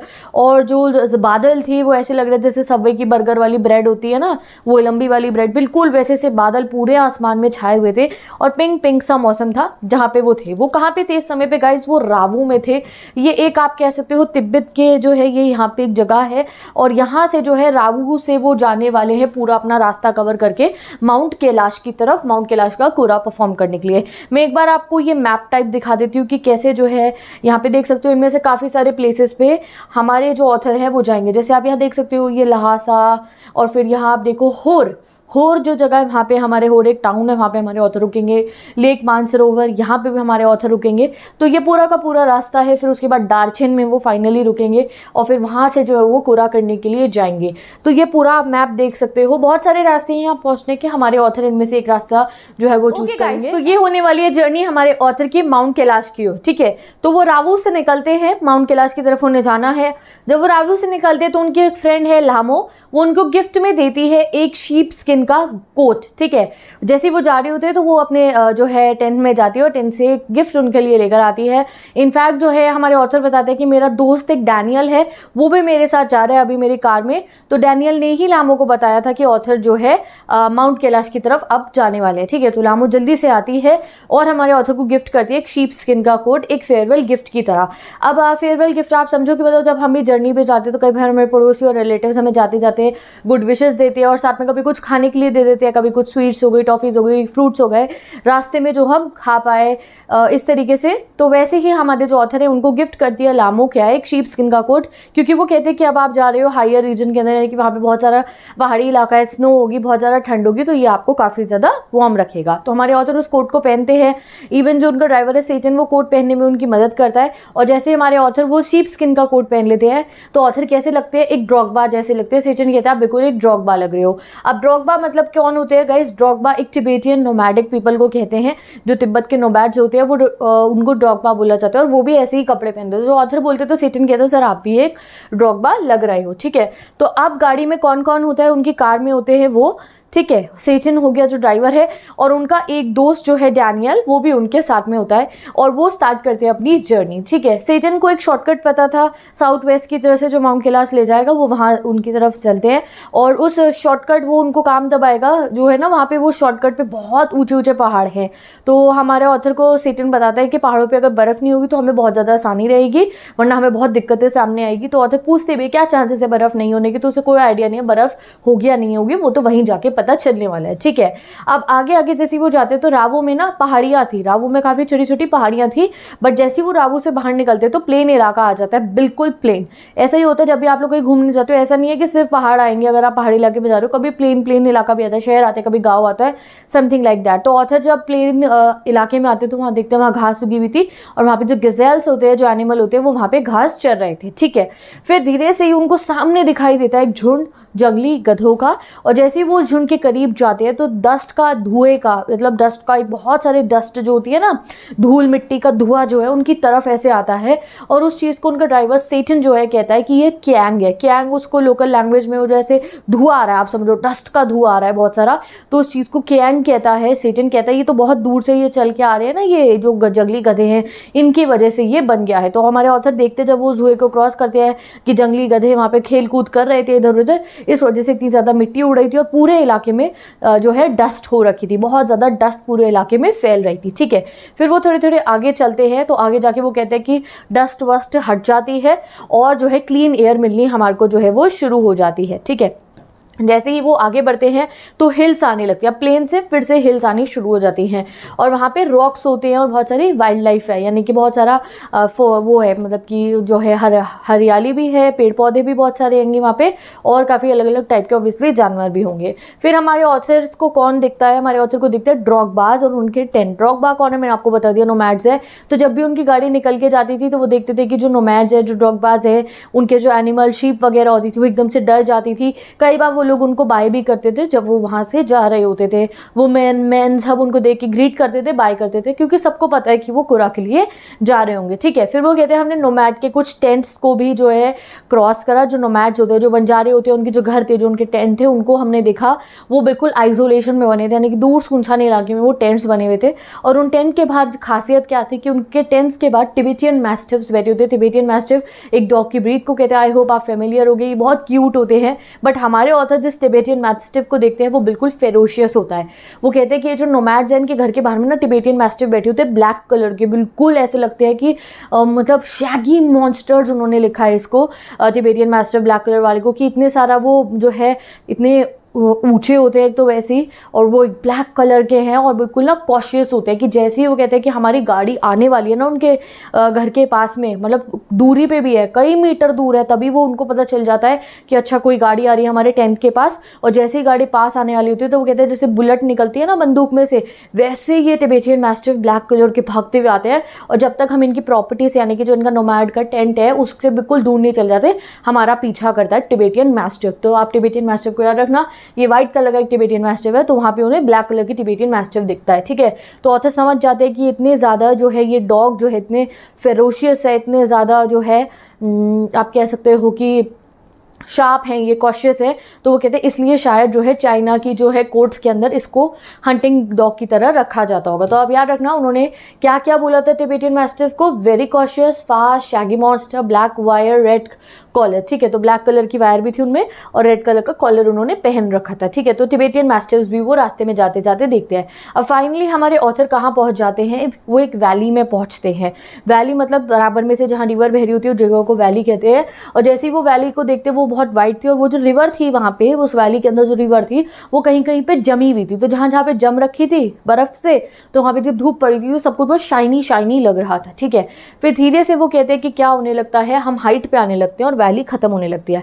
वैली साइड बंद हो जाती है और अब हम हाइट पर आने लगते हैं, यानी कि अब चढ़ाई शुरू हो रही थी। अब जैसी चढ़ाई शुरू हो रही थी तो वो कहते हैं कि जो है, हम आईसी रिवर से, यानी कि वो जो जमी हुई नदी थी, हम उससे दूर आ गए थे और हम चढ़ाई कर रहे थे और बहुत स्टीपर स्लोप्स आ रहे थे, यानी कि बहुत गहरे गहरी खाई आ रही थी एक तरफ़ और इतने पतले पतले सी जो रास्ता था, वहाँ से हमें स्लोप्स पे से कट करके जाना था। बहुत जो है ढलान वाला इलाका आ रहा था और जैसे ही वो उसको क्रॉस करते हैं तो वो देखते हैं वहाँ पे बड़े बड़े रॉक्स थे एक जगह पे, जिसके ऊपर ऑरेंज कलर के लाइकन जो है वो उग रखे थे। ठीक है? तो इस तरीके का वो पूरा उन्होंने हमें बता रखा है कि रास्ता उनका कैसा था। Beneath the rocks hangs of snow clung on in the near permanent shade तो जितने भी बड़े बड़े पत्थर थे ना पहाड़ी के पत्थर थे।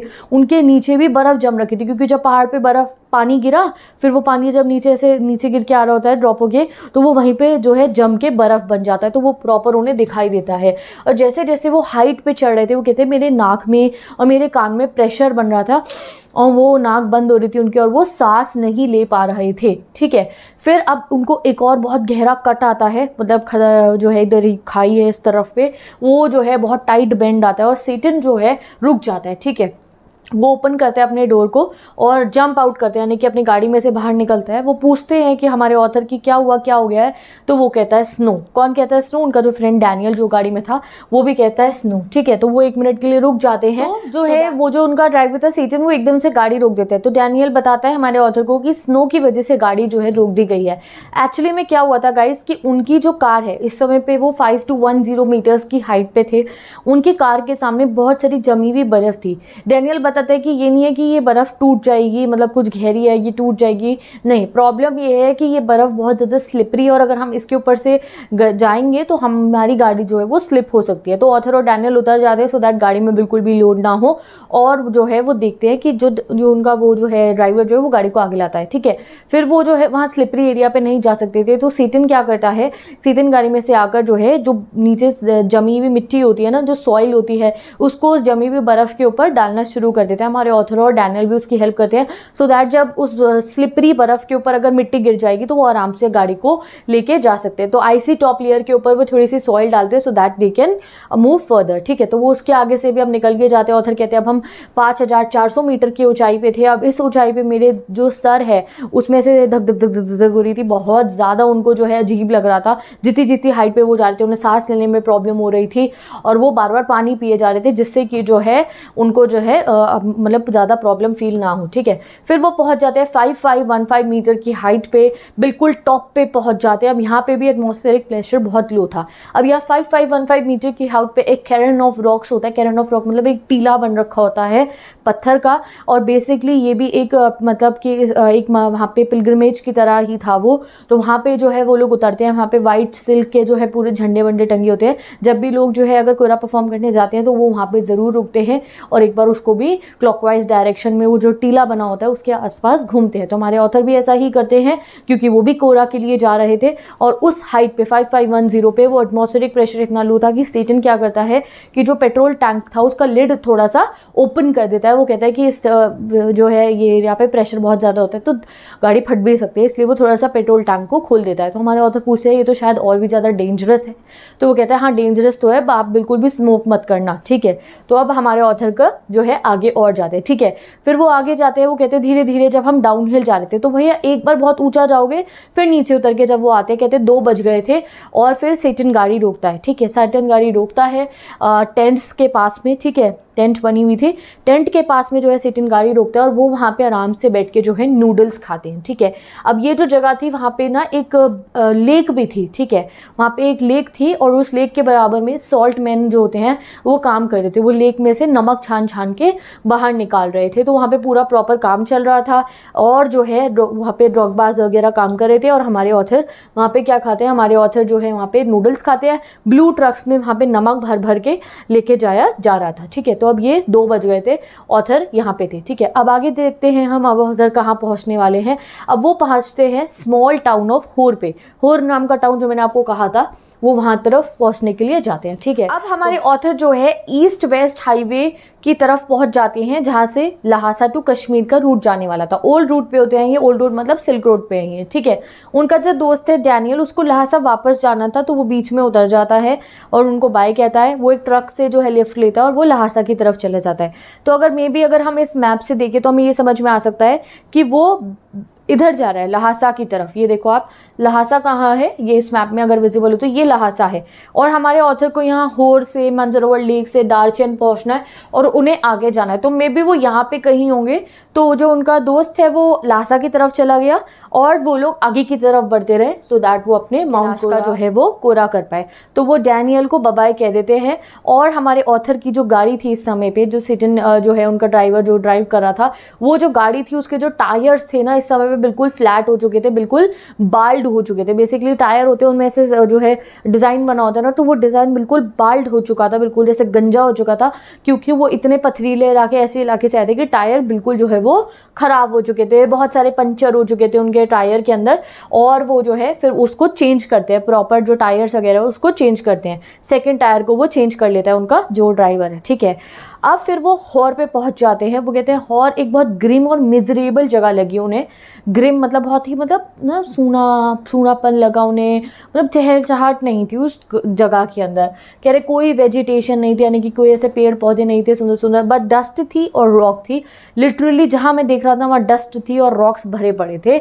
और वो कहते हैं कि मुझे अच्छा नहीं लगा ये चीज़ देख के बिकॉज़ उस टाउन के पास में क्या थी लेक मानसरोवर थी, जो इतनी होली लेक है हम लोगों के लिए। लिए बुद्धिज़्म में भी एंड इवन हिंदुज़म में भी है लेक मानसरोवर जो है वो एक बहुत ही होली वाटर है ठीक है? ऐसा कहा जाता है कि जो लेक मानसरोवर है वो सोर्स है हमारी फोर ग्रेट इंडियन रिवर्स की इंडस गंगा सतलुज एंड ब्रह्मपुत्र और जो है वो वहाँ पे जब देखते हैं हो टाउन को कि वहाँ पे बिल्कुल भी ना वो नहा था मतलब कि एक जैसे होती है ना एक वाइब होती है ब्यूटीफुल पॉजिटिविटी ग्रीनरी वो उनको वहाँ पे नहीं दिखते तो उन्हें कहीं ना कहीं बुरा लगता है हमारे ऑथर को ठीक है? ऑथर को थोड़ा अच्छा नहीं लगता है वहाँ होर में ठीक है? फिर जो है, वो कहते हैं सेटन ने कहा था कि अभी हमें थोड़ी देर वेट करना होगा तो ऑथर जो है, वहाँ पे कैफ़े था होर में, वहाँ जाते हैं। कैफ़े बिल्कुल भी सुंदर नहीं बना हुआ था, हमारे ऑथर बताते हैं। एक पुरानी सी बिल्डिंग थी बैड पेंट हो रखा था, उस पर टूटी हुई तीन विंडो लगी हुई थी उसमें। बट अच्छा ये था कि वहाँ से ब्यूटीफुल लेक मानसरोवर का व्यू उनको मिल रहा था। तो वो कहते हैं कि वो सब मतलब कि जो वो जगह थी, उस सबको कंपनसेट कर रहा था लेक मानसरोवर का व्यू तो वो वहाँ जाते हैं। और वो जाते हैं वहाँ पे तो उनको सर्व करता है एक चाइनीज़ यूथ मिलिट्री का। तो एक चाइनीज़ मिलिट्री कंट्री का एक यूथ था मतलब एक लड़का था, वो उनको जो है सर्व करता है टी वो टी मंगाते हैं अपने लिए। वो कहते हैं, जैसे ही वो आता है मेरे पास में तो उसने टेबल के ऊपर से कपड़ा मारा और वो कपड़ा मारते को वो कहते हैं कि उसने टेबल के ऊपर ग्रीस फैला दी, क्योंकि वो कपड़ा खुद से ही इतना गंदा था कि वो कपड़ा जब उन्होंने गीला कपड़ा मारा तो टेबल और ज़्यादा गंदा हो गया ग्रीसी सा हो गया। वो टेबल साफ़ करके जाता है और ऑथर जो है अपने लिए चाय मंगाते कहते हैं हाफ़ एन आवर लेटर मतलब कि मैं वहाँ आराम से कैफ़े में बैठा ही हुआ था कि सेचन आ जाता है और सेचन और मैं जो है है, फिर दोबारा से जो है वेस्टवर्ड निकल जाते हैं। अपना रास्ता हम जो है कंटिन्यू करते हैं अपनी जर्नी माउंट कैलाश की तरफ़, ठीक है? अब जो है वो थोड़ा बहुत हमारे को बताते हैं कि उन्होंने ना पढ़ा है कुछ ट्रैवलर्स का व्यू ऑन होल यानी कि पहले उन्होंने वो वो जोग्राफिस्ट है, वो पढ़ते रहते होंगे। बस तो वो कहते हैं, मैंने काफ़ी ट्रैवलर्स को पढ़ा है। वो जब होर पहुँचे तो उनका एक्सपीरियंस बहुत अलग था मेरे से। जैसे कि वो बताते हैं, एक ट्रैवलर के बारे में जिनका नाम है इकाई कावागूची तो वो एक जैपनीज़ मोंग थे और जब वो यहाँ पर पहुँचे थे तो 1900 में पहुँचे थे वो तो वो कहते कि ये लेक जो है लेक मानसरोवर इसकी प्योरिटी इसको देख के उनकी आँखों में आँसू आ गए थे। फिर वो बताते कि मैंने एक और अकाउंट पहुँच, पढ़ा था, उसमें एक कपल जो है, जब वो यहाँ पे आए थे, उनके साथ भी वो स्वीडन स्वीडन के थे। उनके ऊपर भी एक ऐसे ही जो है इफ़ेक्ट आया था। जब उन्होंने जो है लेक मानसरोवर को देखा था तो उनके भी आँखों में ऐसे आँसू आ गए थे। देवर ऑल्सो सेंटिमेंटल बट अब जैसे जैसे टाइम बीता जा रहा है, आपको पता है कि हम सिटीज़ को पॉल्यूट कर रहे हैं। जैसे होर टाउन को उन्होंने बताया, कितनी सुंदर ब्यूटीफुल लेक है बट फिर भी टाउन में वेजिटेशन नहीं है, पेड़ नहीं है। तो इसलिए वो यहीं ना कहीं वो जोग्राफिस्ट हैं तो वो हमें बता रहे हैं कि जो हमारा नेचर है, हमें उसे कितना प्रिजर्व करना चाहिए। जैसे कि जैसे जैसे लोग बिल्डिंग बनाते रहते हैं, घर बनाते रहते हैं और नेचर का बिल्कुल भी ध्यान नहीं देते तो वो इस चीज़ को यहाँ पे इंडिकेट जो है वो कर रहे हैं। फिर वो कहते हैं टेन थर्टी बज चुके थे अब और हम फाइनली डार्चेन के गेस्ट हाउस में पहुँच जाते हैं। मैंने आपको डार्चेन बताया था तो एक बार फिर से हम अपना मैप देख लेते हैं कि अब वो फाइनली डार्चन देखो यहाँ पहुँच गए हैं ढाई बजे के करीब हमने पढ़ा था लास्ट टाइम उनका वो होर से यहाँ आप डार्चन पहुँच गए हैं और यहाँ पे गेस्ट हाउस बना हुआ है ये कैंपिंग साइट लिखा है ना यहाँ के गेस्ट हाउस में वो रुकते हैं क्योंकि अब यहाँ से उन्हें अपना कोरा परफॉर्म करना था ठीक है? तो वो कहते हैं अब जैसे ही मैं डार्चन पहुँचता हूँ तो वो नाइट उनके लिए ना बहुत ट्रबलफुल होती है क्यों? क्योंकि उनके लिए बहुत ट्रबलसम होती है क्योंकि ना हमारे ऑथर को कोल्ड हो गया था शुरू होर से ही वो कहते हैं जैसे ही रात होती है और मैं सोने की कोशिश करता हूँ और मेरी एक नाक जो है वो बंद हो जाती है। हमें पता है जब सिर्फ़ जुकाम होता है और एक नाक बंद होती है तो कैसा फील होता है। तो हमारी एक ऑथर की जो हमारी ऑथर की एक नाकें बंद हो जाती है। वो कहते हैं ज़्यादा ऊंचाई पे तो नहीं था मैं four seven six zero metres high था। वो उससे पहले तो वो और भी ऊंचाई पे रह रहे बट आज मुझे बहुत ज़्यादा दिक्कत हुई। मतलब राहू में भी मुझे इतना दिक्कत नहीं हुई थी जितना मुझे आज ऑक्सीजन इनटेक करने में। वो कहते हैं जब मैं सोने की कोशिश करता हूँ तो मतलब कि जैसे वो लेटते हैं तो उनको ऐसा लगता है कि उनको सांस आनी बंद हो रही है, ठीक है? तो वो कह रहे हैं, मैं बैठा बैठा तो मेरे को सांस आ रही थी थोड़ी थोड़ी और जैसे ही मैं लेट रहा था तो मुझे सांस आनी बंद हो रही थी। फिर वो कुछ देर मुँह से सांस लेने की कोशिश कर रहे जैसे हमारी नाक बंद होती है तो हम कहते हो कहते फिर मुझे बार बार प्यास लग रही थी। तो पूरी रात उन्हें बहुत डर लग रहा था कि मैं क्या करूँ, मैं कैसे सोऊँ। उन्हें लग रहा था कि अगर वो लेटेंगे तो शायद उन्हें सांस आनी बंद हो जाए। तो every time he was doing this that वो एक बार बैठ रहे थे सांस ले रहे थे, वो कह रहे, हर्बल टी वगैरह, किसी चीज़ ने मेरे को असर नहीं करा, वो बहुत डर गए थे, ठीक है? तो अगले दिन सुबह क्या होता है, जो उनका, वो जो है, उनका जो ड्राइवर है सेटन वो उनको ट्रीटमेंट के लिए लेके जाता है डार्चिन के मेडिकल कॉलेज में, ठीक है? तो वो कहते हैं, वो वहाँ लेके जाता है मेरे को तो वो मेडिकल कॉलेज में जो है मोनेस्ट्री थी बेसिकली वो, उसके बाहर तो वहाँ पर जो है एक अंकल आते हैं, वो एक टिबेटियन डॉक्टर थे, वो उनको ट्रीट करते हैं, वो कहते हैं, वो डॉक्टर वाला, उन्होंने कोई कोट नहीं पहन रखा था वाइट कलर का, नहीं, उन्होंने सिंपल सा एक स्वेटर पहन रखा था, एक हैट पहन रखी थी और वो मेरा ट्रीटमेंट करते हैं। उन्होंने मुझसे कुछ क्वेश्चंस पूछे, उन्होंने मेरी वेंस को चेक करा और उन्होंने मुझे कहा कि ये कोल्ड हो चुका है। क्योंकि आप इतनी हाइट पे आई हो इसलिए कोल्ड है कुछ भी नहीं है। और और मैं तुम्हें कुछ दूँगा खाने को और अब वो खा लेना वो मतलब दवाई दूँगा आप वो ले लीजिए ठीक है? तो वो कहते हैं उन्होंने मुझे एक पुड़िया सी बना के दी। वो फाइव डेज़ का कोर्स उस टिबेटियन मेडिसिन का करते हैं तो वो कहते हैं कि भाई मुझे इतना ज़्यादा उसका इफ़ेक्ट लगा वो ब्राउन से कलर की पुड़िया के अंदर जो उनको ब्राउन से कलर का पाउडर उन्होंने खाने को दिया था हॉट वाटर के साथ वो उसको खाते हैं मतलब कि दवाई लेते हैं वो अपनी। और वो कहते हैं उसका टेस्ट सिनामन जैसा था दालचीनी जैसा सा उसका टेस्ट था। और लंच टाइम में बेड टाइम में जितनी उनको पुड़िया दी थी वो सब वो खा लेते हैं और वो कहते हैं उस दिन पता है मैं कैसे सोया? जस्ट लाइक अ लॉग ये एक टाइम मतलब एक टर्म होता है एक सिमिली है स्लीपिंग लाइक अ लॉग कि मतलब ऐसी चैन की नींद वो सोए। तो वो दवाई में कुछ ब्राउन कलर की पैलेट्स भी थी तो जो भी दवाई थी हमारे ऑथर को बहुत ज़्यादा फ़ायदेमंद लगती है और वो कहते हैं उस दिन मैं मतलब एक डेड मैन की तरह सोया। मतलब इतनी चैन की नींद तो शायद ही मुझे कभी आई होगी जितना मैं उस दिन सोया तो उनको ट्रीटमेंट काफ़ी इफ़ेक्ट कर जाता है। ठीक है? बट जब ठीक हो जाती है। तो सेटन जो है वो वापस चला जाता है लहासा। ठीक है? क्योंकि वो और टूरिस्ट को भी लेकर आएगा अब ऑथर डार्चन में होते हैं, अब उनको जाना है कोरा करने के लिए। तो इतने समय जब वो वहाँ रुकेंगे तो सेटन की ज़रूरत नहीं थी तो सेटन वापस चला जाता है। अब वो डार्चन के बारे में हमें थोड़ा बहुत डिटेल यहाँ पे दे रहे हैं। कह रहे डार्चन अब मुझे अच्छा लगने लग गया था। गुड नाइट स्लीप के बाद। पहले उन्हें डार्चन बिल्कुल अच्छा नहीं लग रहा था, क्योंकि उन्हें रात को नींद ही नहीं आ रही थी, उन्हें डर लग रहा था। बट अब उन्हें डार्चन अच्छा लगने लगता है। वो कहते हैं, वहाँ पर बहुत सारी डस्ट थी डार्चन में और बहुत सारा ना रबल एंड रिफ्यूज़ था। तो यहाँ पे ना वो हमें ये हाईलाइट कर रहे हैं कि लोग ना हर जगह पे ना वो गार्बेज वगैरह फैला देते हैं। इवन जब भी लोग जो है किसी ट्रैवल एरिया में जाते हैं, जैसे कहीं पहाड़ों पे जाने हैं तो कुछ खा रहे हैं रैपर्स वगैरह वहीं पे फेंक देते हैं, फिर वो सब कूड़ा वहाँ पे जमा होता रहता है, इकट्ठा होता रहता है। तो वो ये बताने कि वो इतना ब्यूटीफुल जगह है डार्चन भी बट वहाँ पे भी बहुत सारा रिफ्यूज़ और रबल जो है, कहीं कहीं जो है जमा हो रखा है। जो सन है, वो बहुत ब्यूटीफुल था। ऐसा नहीं है कि नेचर में कोई कमी नहीं। नेचर तो अपनी सारी ब्यूटी पे है। पूरे ब्यूटीफुल वे में नेचर वहाँ पे है। क्लियर ब्लू स्काई था, पूरा विजन मिल रहा था उनको वहाँ पे हिमालयास का बट लोगों ने वहाँ पे बहुत ज़्यादा जो है कहीं ना कहीं उन्होंने उस नेचर को नुकसान पहुँचा रखा था, ठीक है? तो फिर वो बताते हैं कि वहाँ टाउन में कुछ रूडिमेंट्री जनरल स्टोर्स थे, यानी कि कुछ छोटी मोटी दुकानें थी, वहाँ पर चाइनीज़ सिगरेट मिल रही थी सोप मिल रही थी और बेसिक नेसेसिटीज़ जो चाहिए होती है वो मिल रही थी, ठीक है? और साथ में प्रेयर वाले फ्लैग्स वहाँ पर बहुत सारे मिलते थे, ठीक है?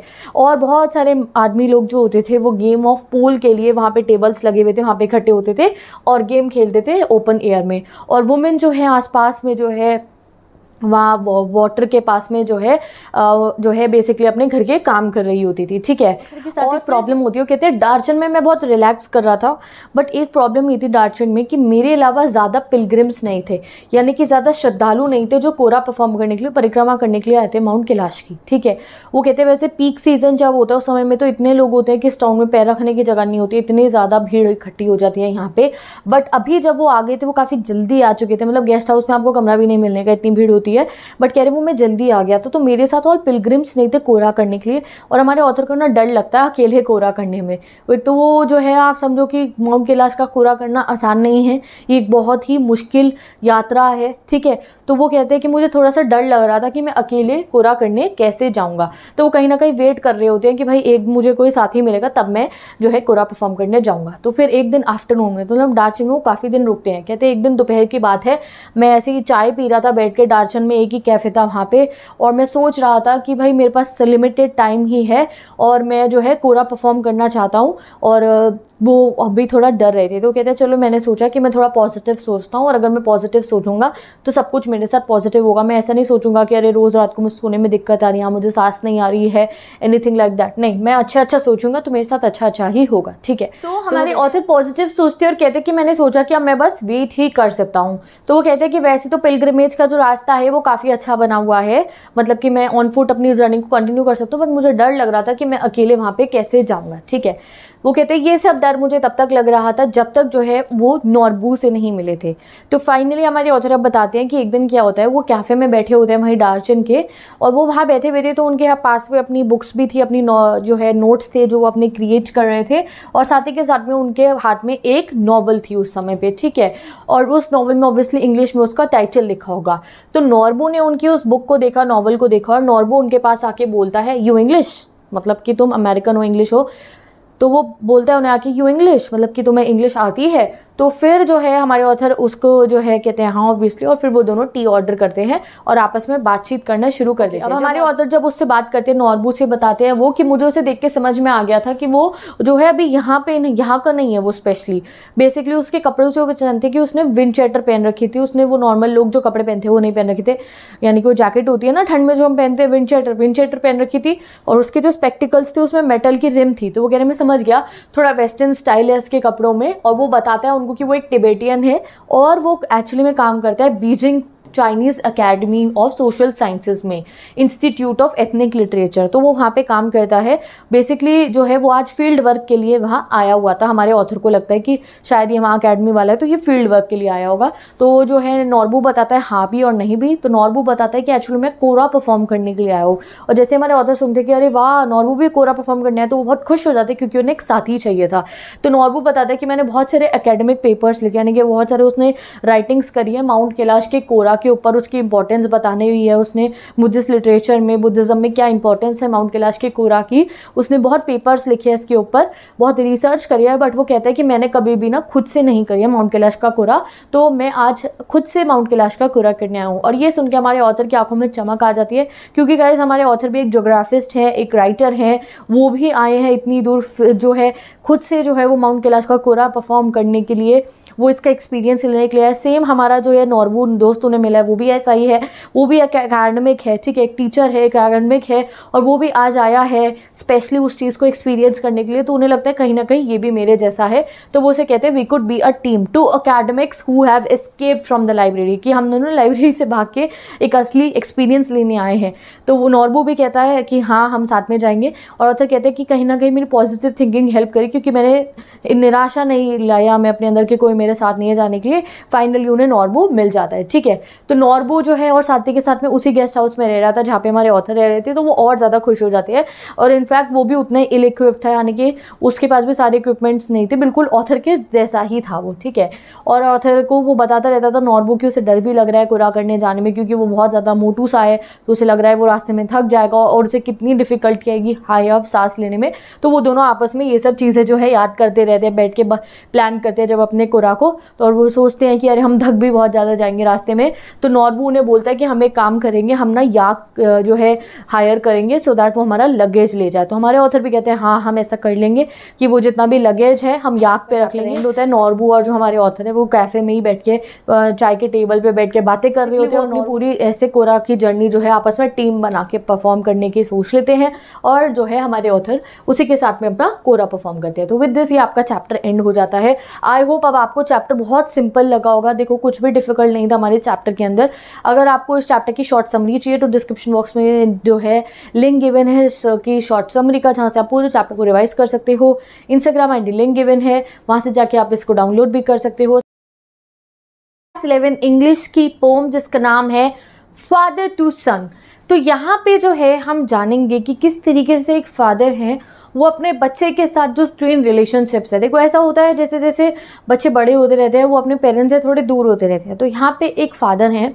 अब वो सोचते हैं कि ऐसा क्या हो गया है, क्या मेरी गलती थी जो आज मेरा बेटा जो है मेरे से कनेक्ट नहीं कर पाता। हमारा रिलेशनशिप ऐसा हो चुका है कि हम एक दूसरे से सही से बैठ के बात भी नहीं कर पाते हैं। तो वो चीज़ को वो सोचते हैं और वही चीज़ उन्होंने हमें इस पोएम के थ्रू बताई है। तो जब पोएम पढ़ेंगे तो आप अच्छे से और समझ पाओगे। तो फ़र्स्ट आंसर आता है I do not understand this child though we have live together now in the same house for years तो स्टार्ट करते पोएट ये कह के कि I don't understand this child वो अपने बेटे को कहते हैं कि, मुझे, मेरे बेटे के बारे में, मैं अपने बेटे को पहचान ही नहीं पा रहा हूँ। इवन दो हम इस घर के अंदर, एक छत के नीचे, हम पता नहीं कितने ही सालों से रह रहे हैं। बट आज मैं अपने बेटे को पहचान नहीं पा रहा हूँ। I know nothing of him so try to build up a relationship from how he was when small तो वो कहते हैं I know nothing of him मेरे को उसके बारे में कुछ ही नहीं है। मुझे नहीं पता उसे क्या पसंद है, क्या नहीं पसंद है। मैं ट्राई करता हूँ उसके साथ एक ऐसा रिलेशनशिप बनाना, जैसा हमारा बचपन में हुआ करता था। बचपन में पापा और बेटे का बहुत अच्छा रिलेशन होता है। फादर्स बच्चों को साइकिल चलाना सिखाते हैं। फादर्स लोग बच्चों को गेम्स खेलना सिखाते हैं। फादर और बेटे का बहुत अच्छा बॉन्ड होता है बचपन में। बट वो कह रहे हैं, अब मेरे बच्चे के साथ मेरा वो बॉन्ड नहीं अब तो जैसे मैं उसे जानता ही नहीं हूँ ऐसा मुझे लगता है। अब आगे वो कहते हैं I know nothing of him so try to build a relationship from how he was when small तो वो कहते हैं कि मुझे उसके बारे में कुछ नहीं पता क्या उसे पसंद है क्या नहीं पसंद है। कई बार मैं कोशिश भी करता हूँ हमारा रिलेशनशिप ऐसा बनाने के जैसे बचपन में था बट अब वो सब नहीं हो पाता है। येट हैव आई किल्ड तो वो कई बार ये भी सोचते हैं कि क्या ये सब मेरी गलती है? चलो आगे बढ़ते हैं। Have I killed the seed I spent or sown it where the land is his and none of mind तो यहाँ पे बेसिकली क्या है? यहाँ बहुत कन्फ्यूज़न होती है लाइन में। तो कहीं ना कहीं पोइट सोचते हैं फादर सोचते हैं कि क्या मैंने किल कर दिया उस सीड को जो मेरा था? यानी कि वो बच्चे को अपना सीड कह रहे हैं। यानी कि वो ये कह रहे हैं कि ये मेरा बेटा है, बिल्कुल मेरे जैसा, दिखने में फ़िज़िकल फीचर्स अगर मैं देखूँ तो कहीं ना कहीं मेरे जैसा लगता है, ये मेरा सीड है, मैंने इसे जन्म दिया है। बट फिर भी the land is his and none of mind but अभी जब मैं उसे देखता हूँ तो मैं उसे पहचान ही नहीं पाता। उस पर मेरे जैसा कुछ है ही नहीं। ना मैं उससे कनेक्ट कर पाऊँ। तो तो वो कहीं ना कहीं सोचते हैं हैव आई किल्ड वो कहीं ना कहीं खुद को रिस्पॉन्सिबल मानते हैं कि शायद मेरी ही गलती है, जो आज मेरे और मेरे बच्चे का रिलेशनशिप ऐसा है। आगे वो कहते हैं we speak like strangers there is no sign of understanding in the air हम लोग एक ही घर में, एक ही छत में नीचे रहते हैं, एक अजनबी बनकर। कोई साइन नहीं अंडरस्टैंडिंग का हमारे बीच में कि हम एक दूसरे की बात समझते हों। बहुत दूरियाँ बन चुके हैं। The child is build to my design yet what he loves I cannot share वो बच्चा मेरे डिज़ाइन पे बना है, मेरा बेटा है वो। मेरे डिज़ाइन पे मतलब बना है, मेरा बेटा है वो। मैं उसका फादर हूँ। बट फिर भी जो उसे पसंद है, मैं उसको शेयर नहीं कर सकता हूँ उसके साथ। यानी कि बच्चा फादर से बहुत दूर है। कनेक्ट नहीं कर पाते। दुनिया बहुत ज़्यादा बन चुकी है। सेम बात वो बार बार रिपीट कर रहे हैं। आगे वो कहते हैं silence surrounds us I would have him prodigal returning to his father's house the home he knew rather than see him make and move his world तो वो कहते हैं, हमारे बीच में एक साइलेंस है, शांति का माहौल है हम दोनों के बीच में। मैं चाहता हूँ कि मेरा बच्चा मेरे पास वापस आ जाए, अपने फादर के घर पे आ जाए, जहाँ बचपन में हम साथ में रहा करते थे। मैं नहीं चाहता कि वो मुझे छोड़ के जाए और अपनी एक अलग दुनिया बनाए। I would forgive him too shaping from sorrow a new love वो कहते हैं ठीक है ऐसा नहीं मेरी गलती थी मेरे बच्चे की भी कुछ ना कुछ गलती थी मैं उसे माफ़ कर दूँगा। और मैं जो है उस दुख से कि मेरे को इतना दुख है मेरा बच्चा मेरे पास नहीं है मैं उसे कनेक्ट नहीं कर पा रहा हूँ मैं उस सब दुख से एक नया लव मेरे अंदर आ गया है। मुझे दुख हो रहा है। आज मुझे रियलाइज़ हो रहा है कि मेरा बेटा मेरे से कितना दूर है।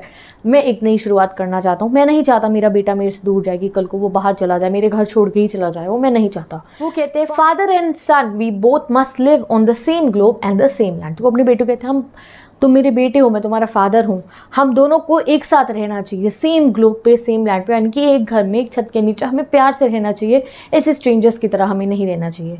अब देखो यहाँ से ही स्पीक्स अब यहाँ पे बच्चा बोलता है सन बोलता है। पहली बार जो है अब यहाँ पे आप लड़के की बात सुनोगे जो बच्चा कहना चाहते हो कहता है I cannot understand myself why anger grows from grief we put out an M hand longing for something to forgive जब बेटा बोलता है वो क्या कहता है? वो कहता है I cannot understand myself मैं खुद को ही समझ में नहीं पा रहा हूँ। वाई एंगर ग्रोज फ्रॉम विफ क्यों जब मैं दुखी होता हूँ, जब मैं याद करता हूँ दुखी वाली चीज़ों को कि हमारा रिलेशनशिप यहाँ आ गया है मैं भी दुखी होता हूँ। बट उस दुख से मैं गुस्सा हो जाता हूँ। Why anger grows from grief क्यों मैं गुस्सा हो जाता हूँ? We each put out an M hand यानी कि हम दोनों एक दूसरे को समझने की कोशिश करें। एम टी हैंड मतलब आप भी मेरे को समझना चाहते हो, मैं भी आपको समझना चाहता हूँ। Longing for something to forgive आप भी मुझे माफ़ करना चाहते हो, मैं भी आपको माफ़ करके आगे बढ़ना चाहता हूँ कि हम एक साथ खुश होकर रहें। बट ये सब नहीं हो पा रहा है और यहाँ पे ये पोएम एंड हो जाती है। तो बेसिकली सॉल्यूशन कोई नहीं निकला है। बेटा भी परेशान है कि क्यों मैं अपने फादर के साथ जैसा बचपन का रिलेशनशिप था शेयर नहीं कर पा रहा हूँ। उसे कुछ बातें होंगी, उसके फादर की जो पसंद नहीं आई होंगी, जो उसके मन पर लग गई होगी, उसे दुखी है वो उससे, कहीं ना कहीं वो उनसे गुस्सा हो जाता है। अपने आप पे भी गुस्सा हो जाता है वो। वो दोनों अपने रिलेशनशिप को ठीक करना चाह रहे हैं बट नहीं कर पाते। दोनों सोचते भी हैं कि हाँ एक दूसरे को माफ़ कर देंगे बट हो नहीं पा रहा है। This is the situation of real life कहीं ना कहीं हमें भी पता होता है अगर हम गलत हैं बट अपनी गलती को एक्सेप्ट करना एंड फाइनली सब कुछ ठीक करना बहुत मुश्किल हो जाता है। रिलेशनशिप्स अगर किसी हद तक ख़राब हो जाए तो। तो विद दिस इस पोएम को एक बार रिवाइज कर लेते हैं। I do not understand this child though we have live together for now in the same house for year तो यहाँ पे वो कह रहे हैं, मुझे अपने बच्चे को भी मैं पहचान नहीं पा रहा हूँ हम साथ में इतने समय से रहते हैं। I know nothing of him so try to build up a relationship from how he was when small मैं उसके बारे में कुछ नहीं जानता हूँ, कोशिश करता हूँ कि वैसा रिलेशनशिप बना पाऊँ जैसे बचपन में था बट नहीं हो पाता है। Yet have I killed the seed I spent or sown it where क्या मेरी गलतियों की वजह से आज हमारा रिलेशनशिप ऐसा हुआ है? ये बच्चा मेरा सीड है ये। क्या मेरी वजह से ये ऐसी हालत हो चुकी है हमारे रिलेशनशिप की? फिर वो आगे कहते हैं the land is his and none of mind यानी कि अब वो बच्चा मेरे मेरे जैसे उसमें कुछ है ही नहीं, मेरी पर्सनैलिटी है ही नहीं, ठीक है? We speak like stranger there is no sign of understanding in the air हम जब बात करते हैं तो एक अजनबी की तरह बात करते हैं, कोई अंडरस्टैंडिंग कोई प्यार, कोई कनेक्शन है ही नहीं। The child is built to my design yet what he loves can not share यानी कि वो मेरे जैसा मेरे डिज़ाइन पे बना है मेरा खुद का बेटा है मेरा सगा बेटा है बट फिर भी जो चीज़ें उसे पसंद है मैं, मैं पसंद ही नहीं कर पाता उनको। Silence surround us I would have him prodigal returning to his father's house हमारे बीच में साइलेंस है। यही बात होगी। वो बच्चे को टोकते होंगे किसी बात पर बच्चा भी नहीं समझता होगा। तो कहीं ना कहीं दूरियाँ बढ़ गई हैं। वो साइलेंस है उनके बीच में। वो चाहते हैं कि उनका बेटा उनके पास वापस आ जाए। जैसे छोटे होते हुए वो उनकी हर बात मानता था प्यार करता था उनसे। तो वो कहते हैं मैं चाहता हूँ वो मेरे पास वापस आ जाए। उस घर में वापस आ जाए जहाँ वो बचपन में अपने फादर के साथ रहता था। बट वो जो है, ऐसा नहीं हो पा रहा है। वो उसे नहीं देखना चाहते कि वो जो है, बाहर जाके एक अपनी नई दुनिया बनाए या फिर वो उनको छोड़ के अकेला चला जाए और अलग घर में शिफ्ट हो जाए something like that I would have him prodigal returning to his father's house the home he knew rather than see him make and move his world यानी कि मैं नहीं चाहता मेरा बच्चा मुझे छोड़ के जाए। I would forgive him too shaping from sorrow a new love वो कहते हैं, ठीक है, उसकी गलती थी तो मैं उसे माफ़ कर दूँगा। मेरी गलती तो मैं चाहता हूँ मैं, वो मुझे माफ़ कर दे। मैं बहुत दुखी हूँ और मुझे बहुत प्यार है अपने बेटे से। मैं चाहता हूँ हमारा रिलेशनशिप अच्छा हो जाए। Father and son we both must live on the same globe and the same land हम पापा बेटे को एक ही घर में सेम ग्लोब सेम लैंड पे इकट्ठे रहना चाहिए। वो कहीं ना कहीं तैयार है, अपने बेटे से माफ़ी मांगते हैं। कहीं ना कहीं तैयार है कि मैं तुम्हारी गलतियों को माफ़ कर दूँगा और हमें साथ में रहना चाहिए। अब ही स्पीक्स फाइनली बेटा बोलता है और कहता है के नॉट अंडरस्टैंड माई सेल्फ मुझे खुद अपने को समझ नहीं आता कि क्यों मैं गुस्सा हो जाता हूँ जब भी मैं दुखी होता हूँ तो। कहीं ना कहीं उसके फादर की भी गलती होगी। तो जब वो उनके बारे में सोचता है, वो दुखी हो तो उसे भी गुस्सा आता है कि इन्होंने भी मेरे साथ ऐसा कुछ किया है।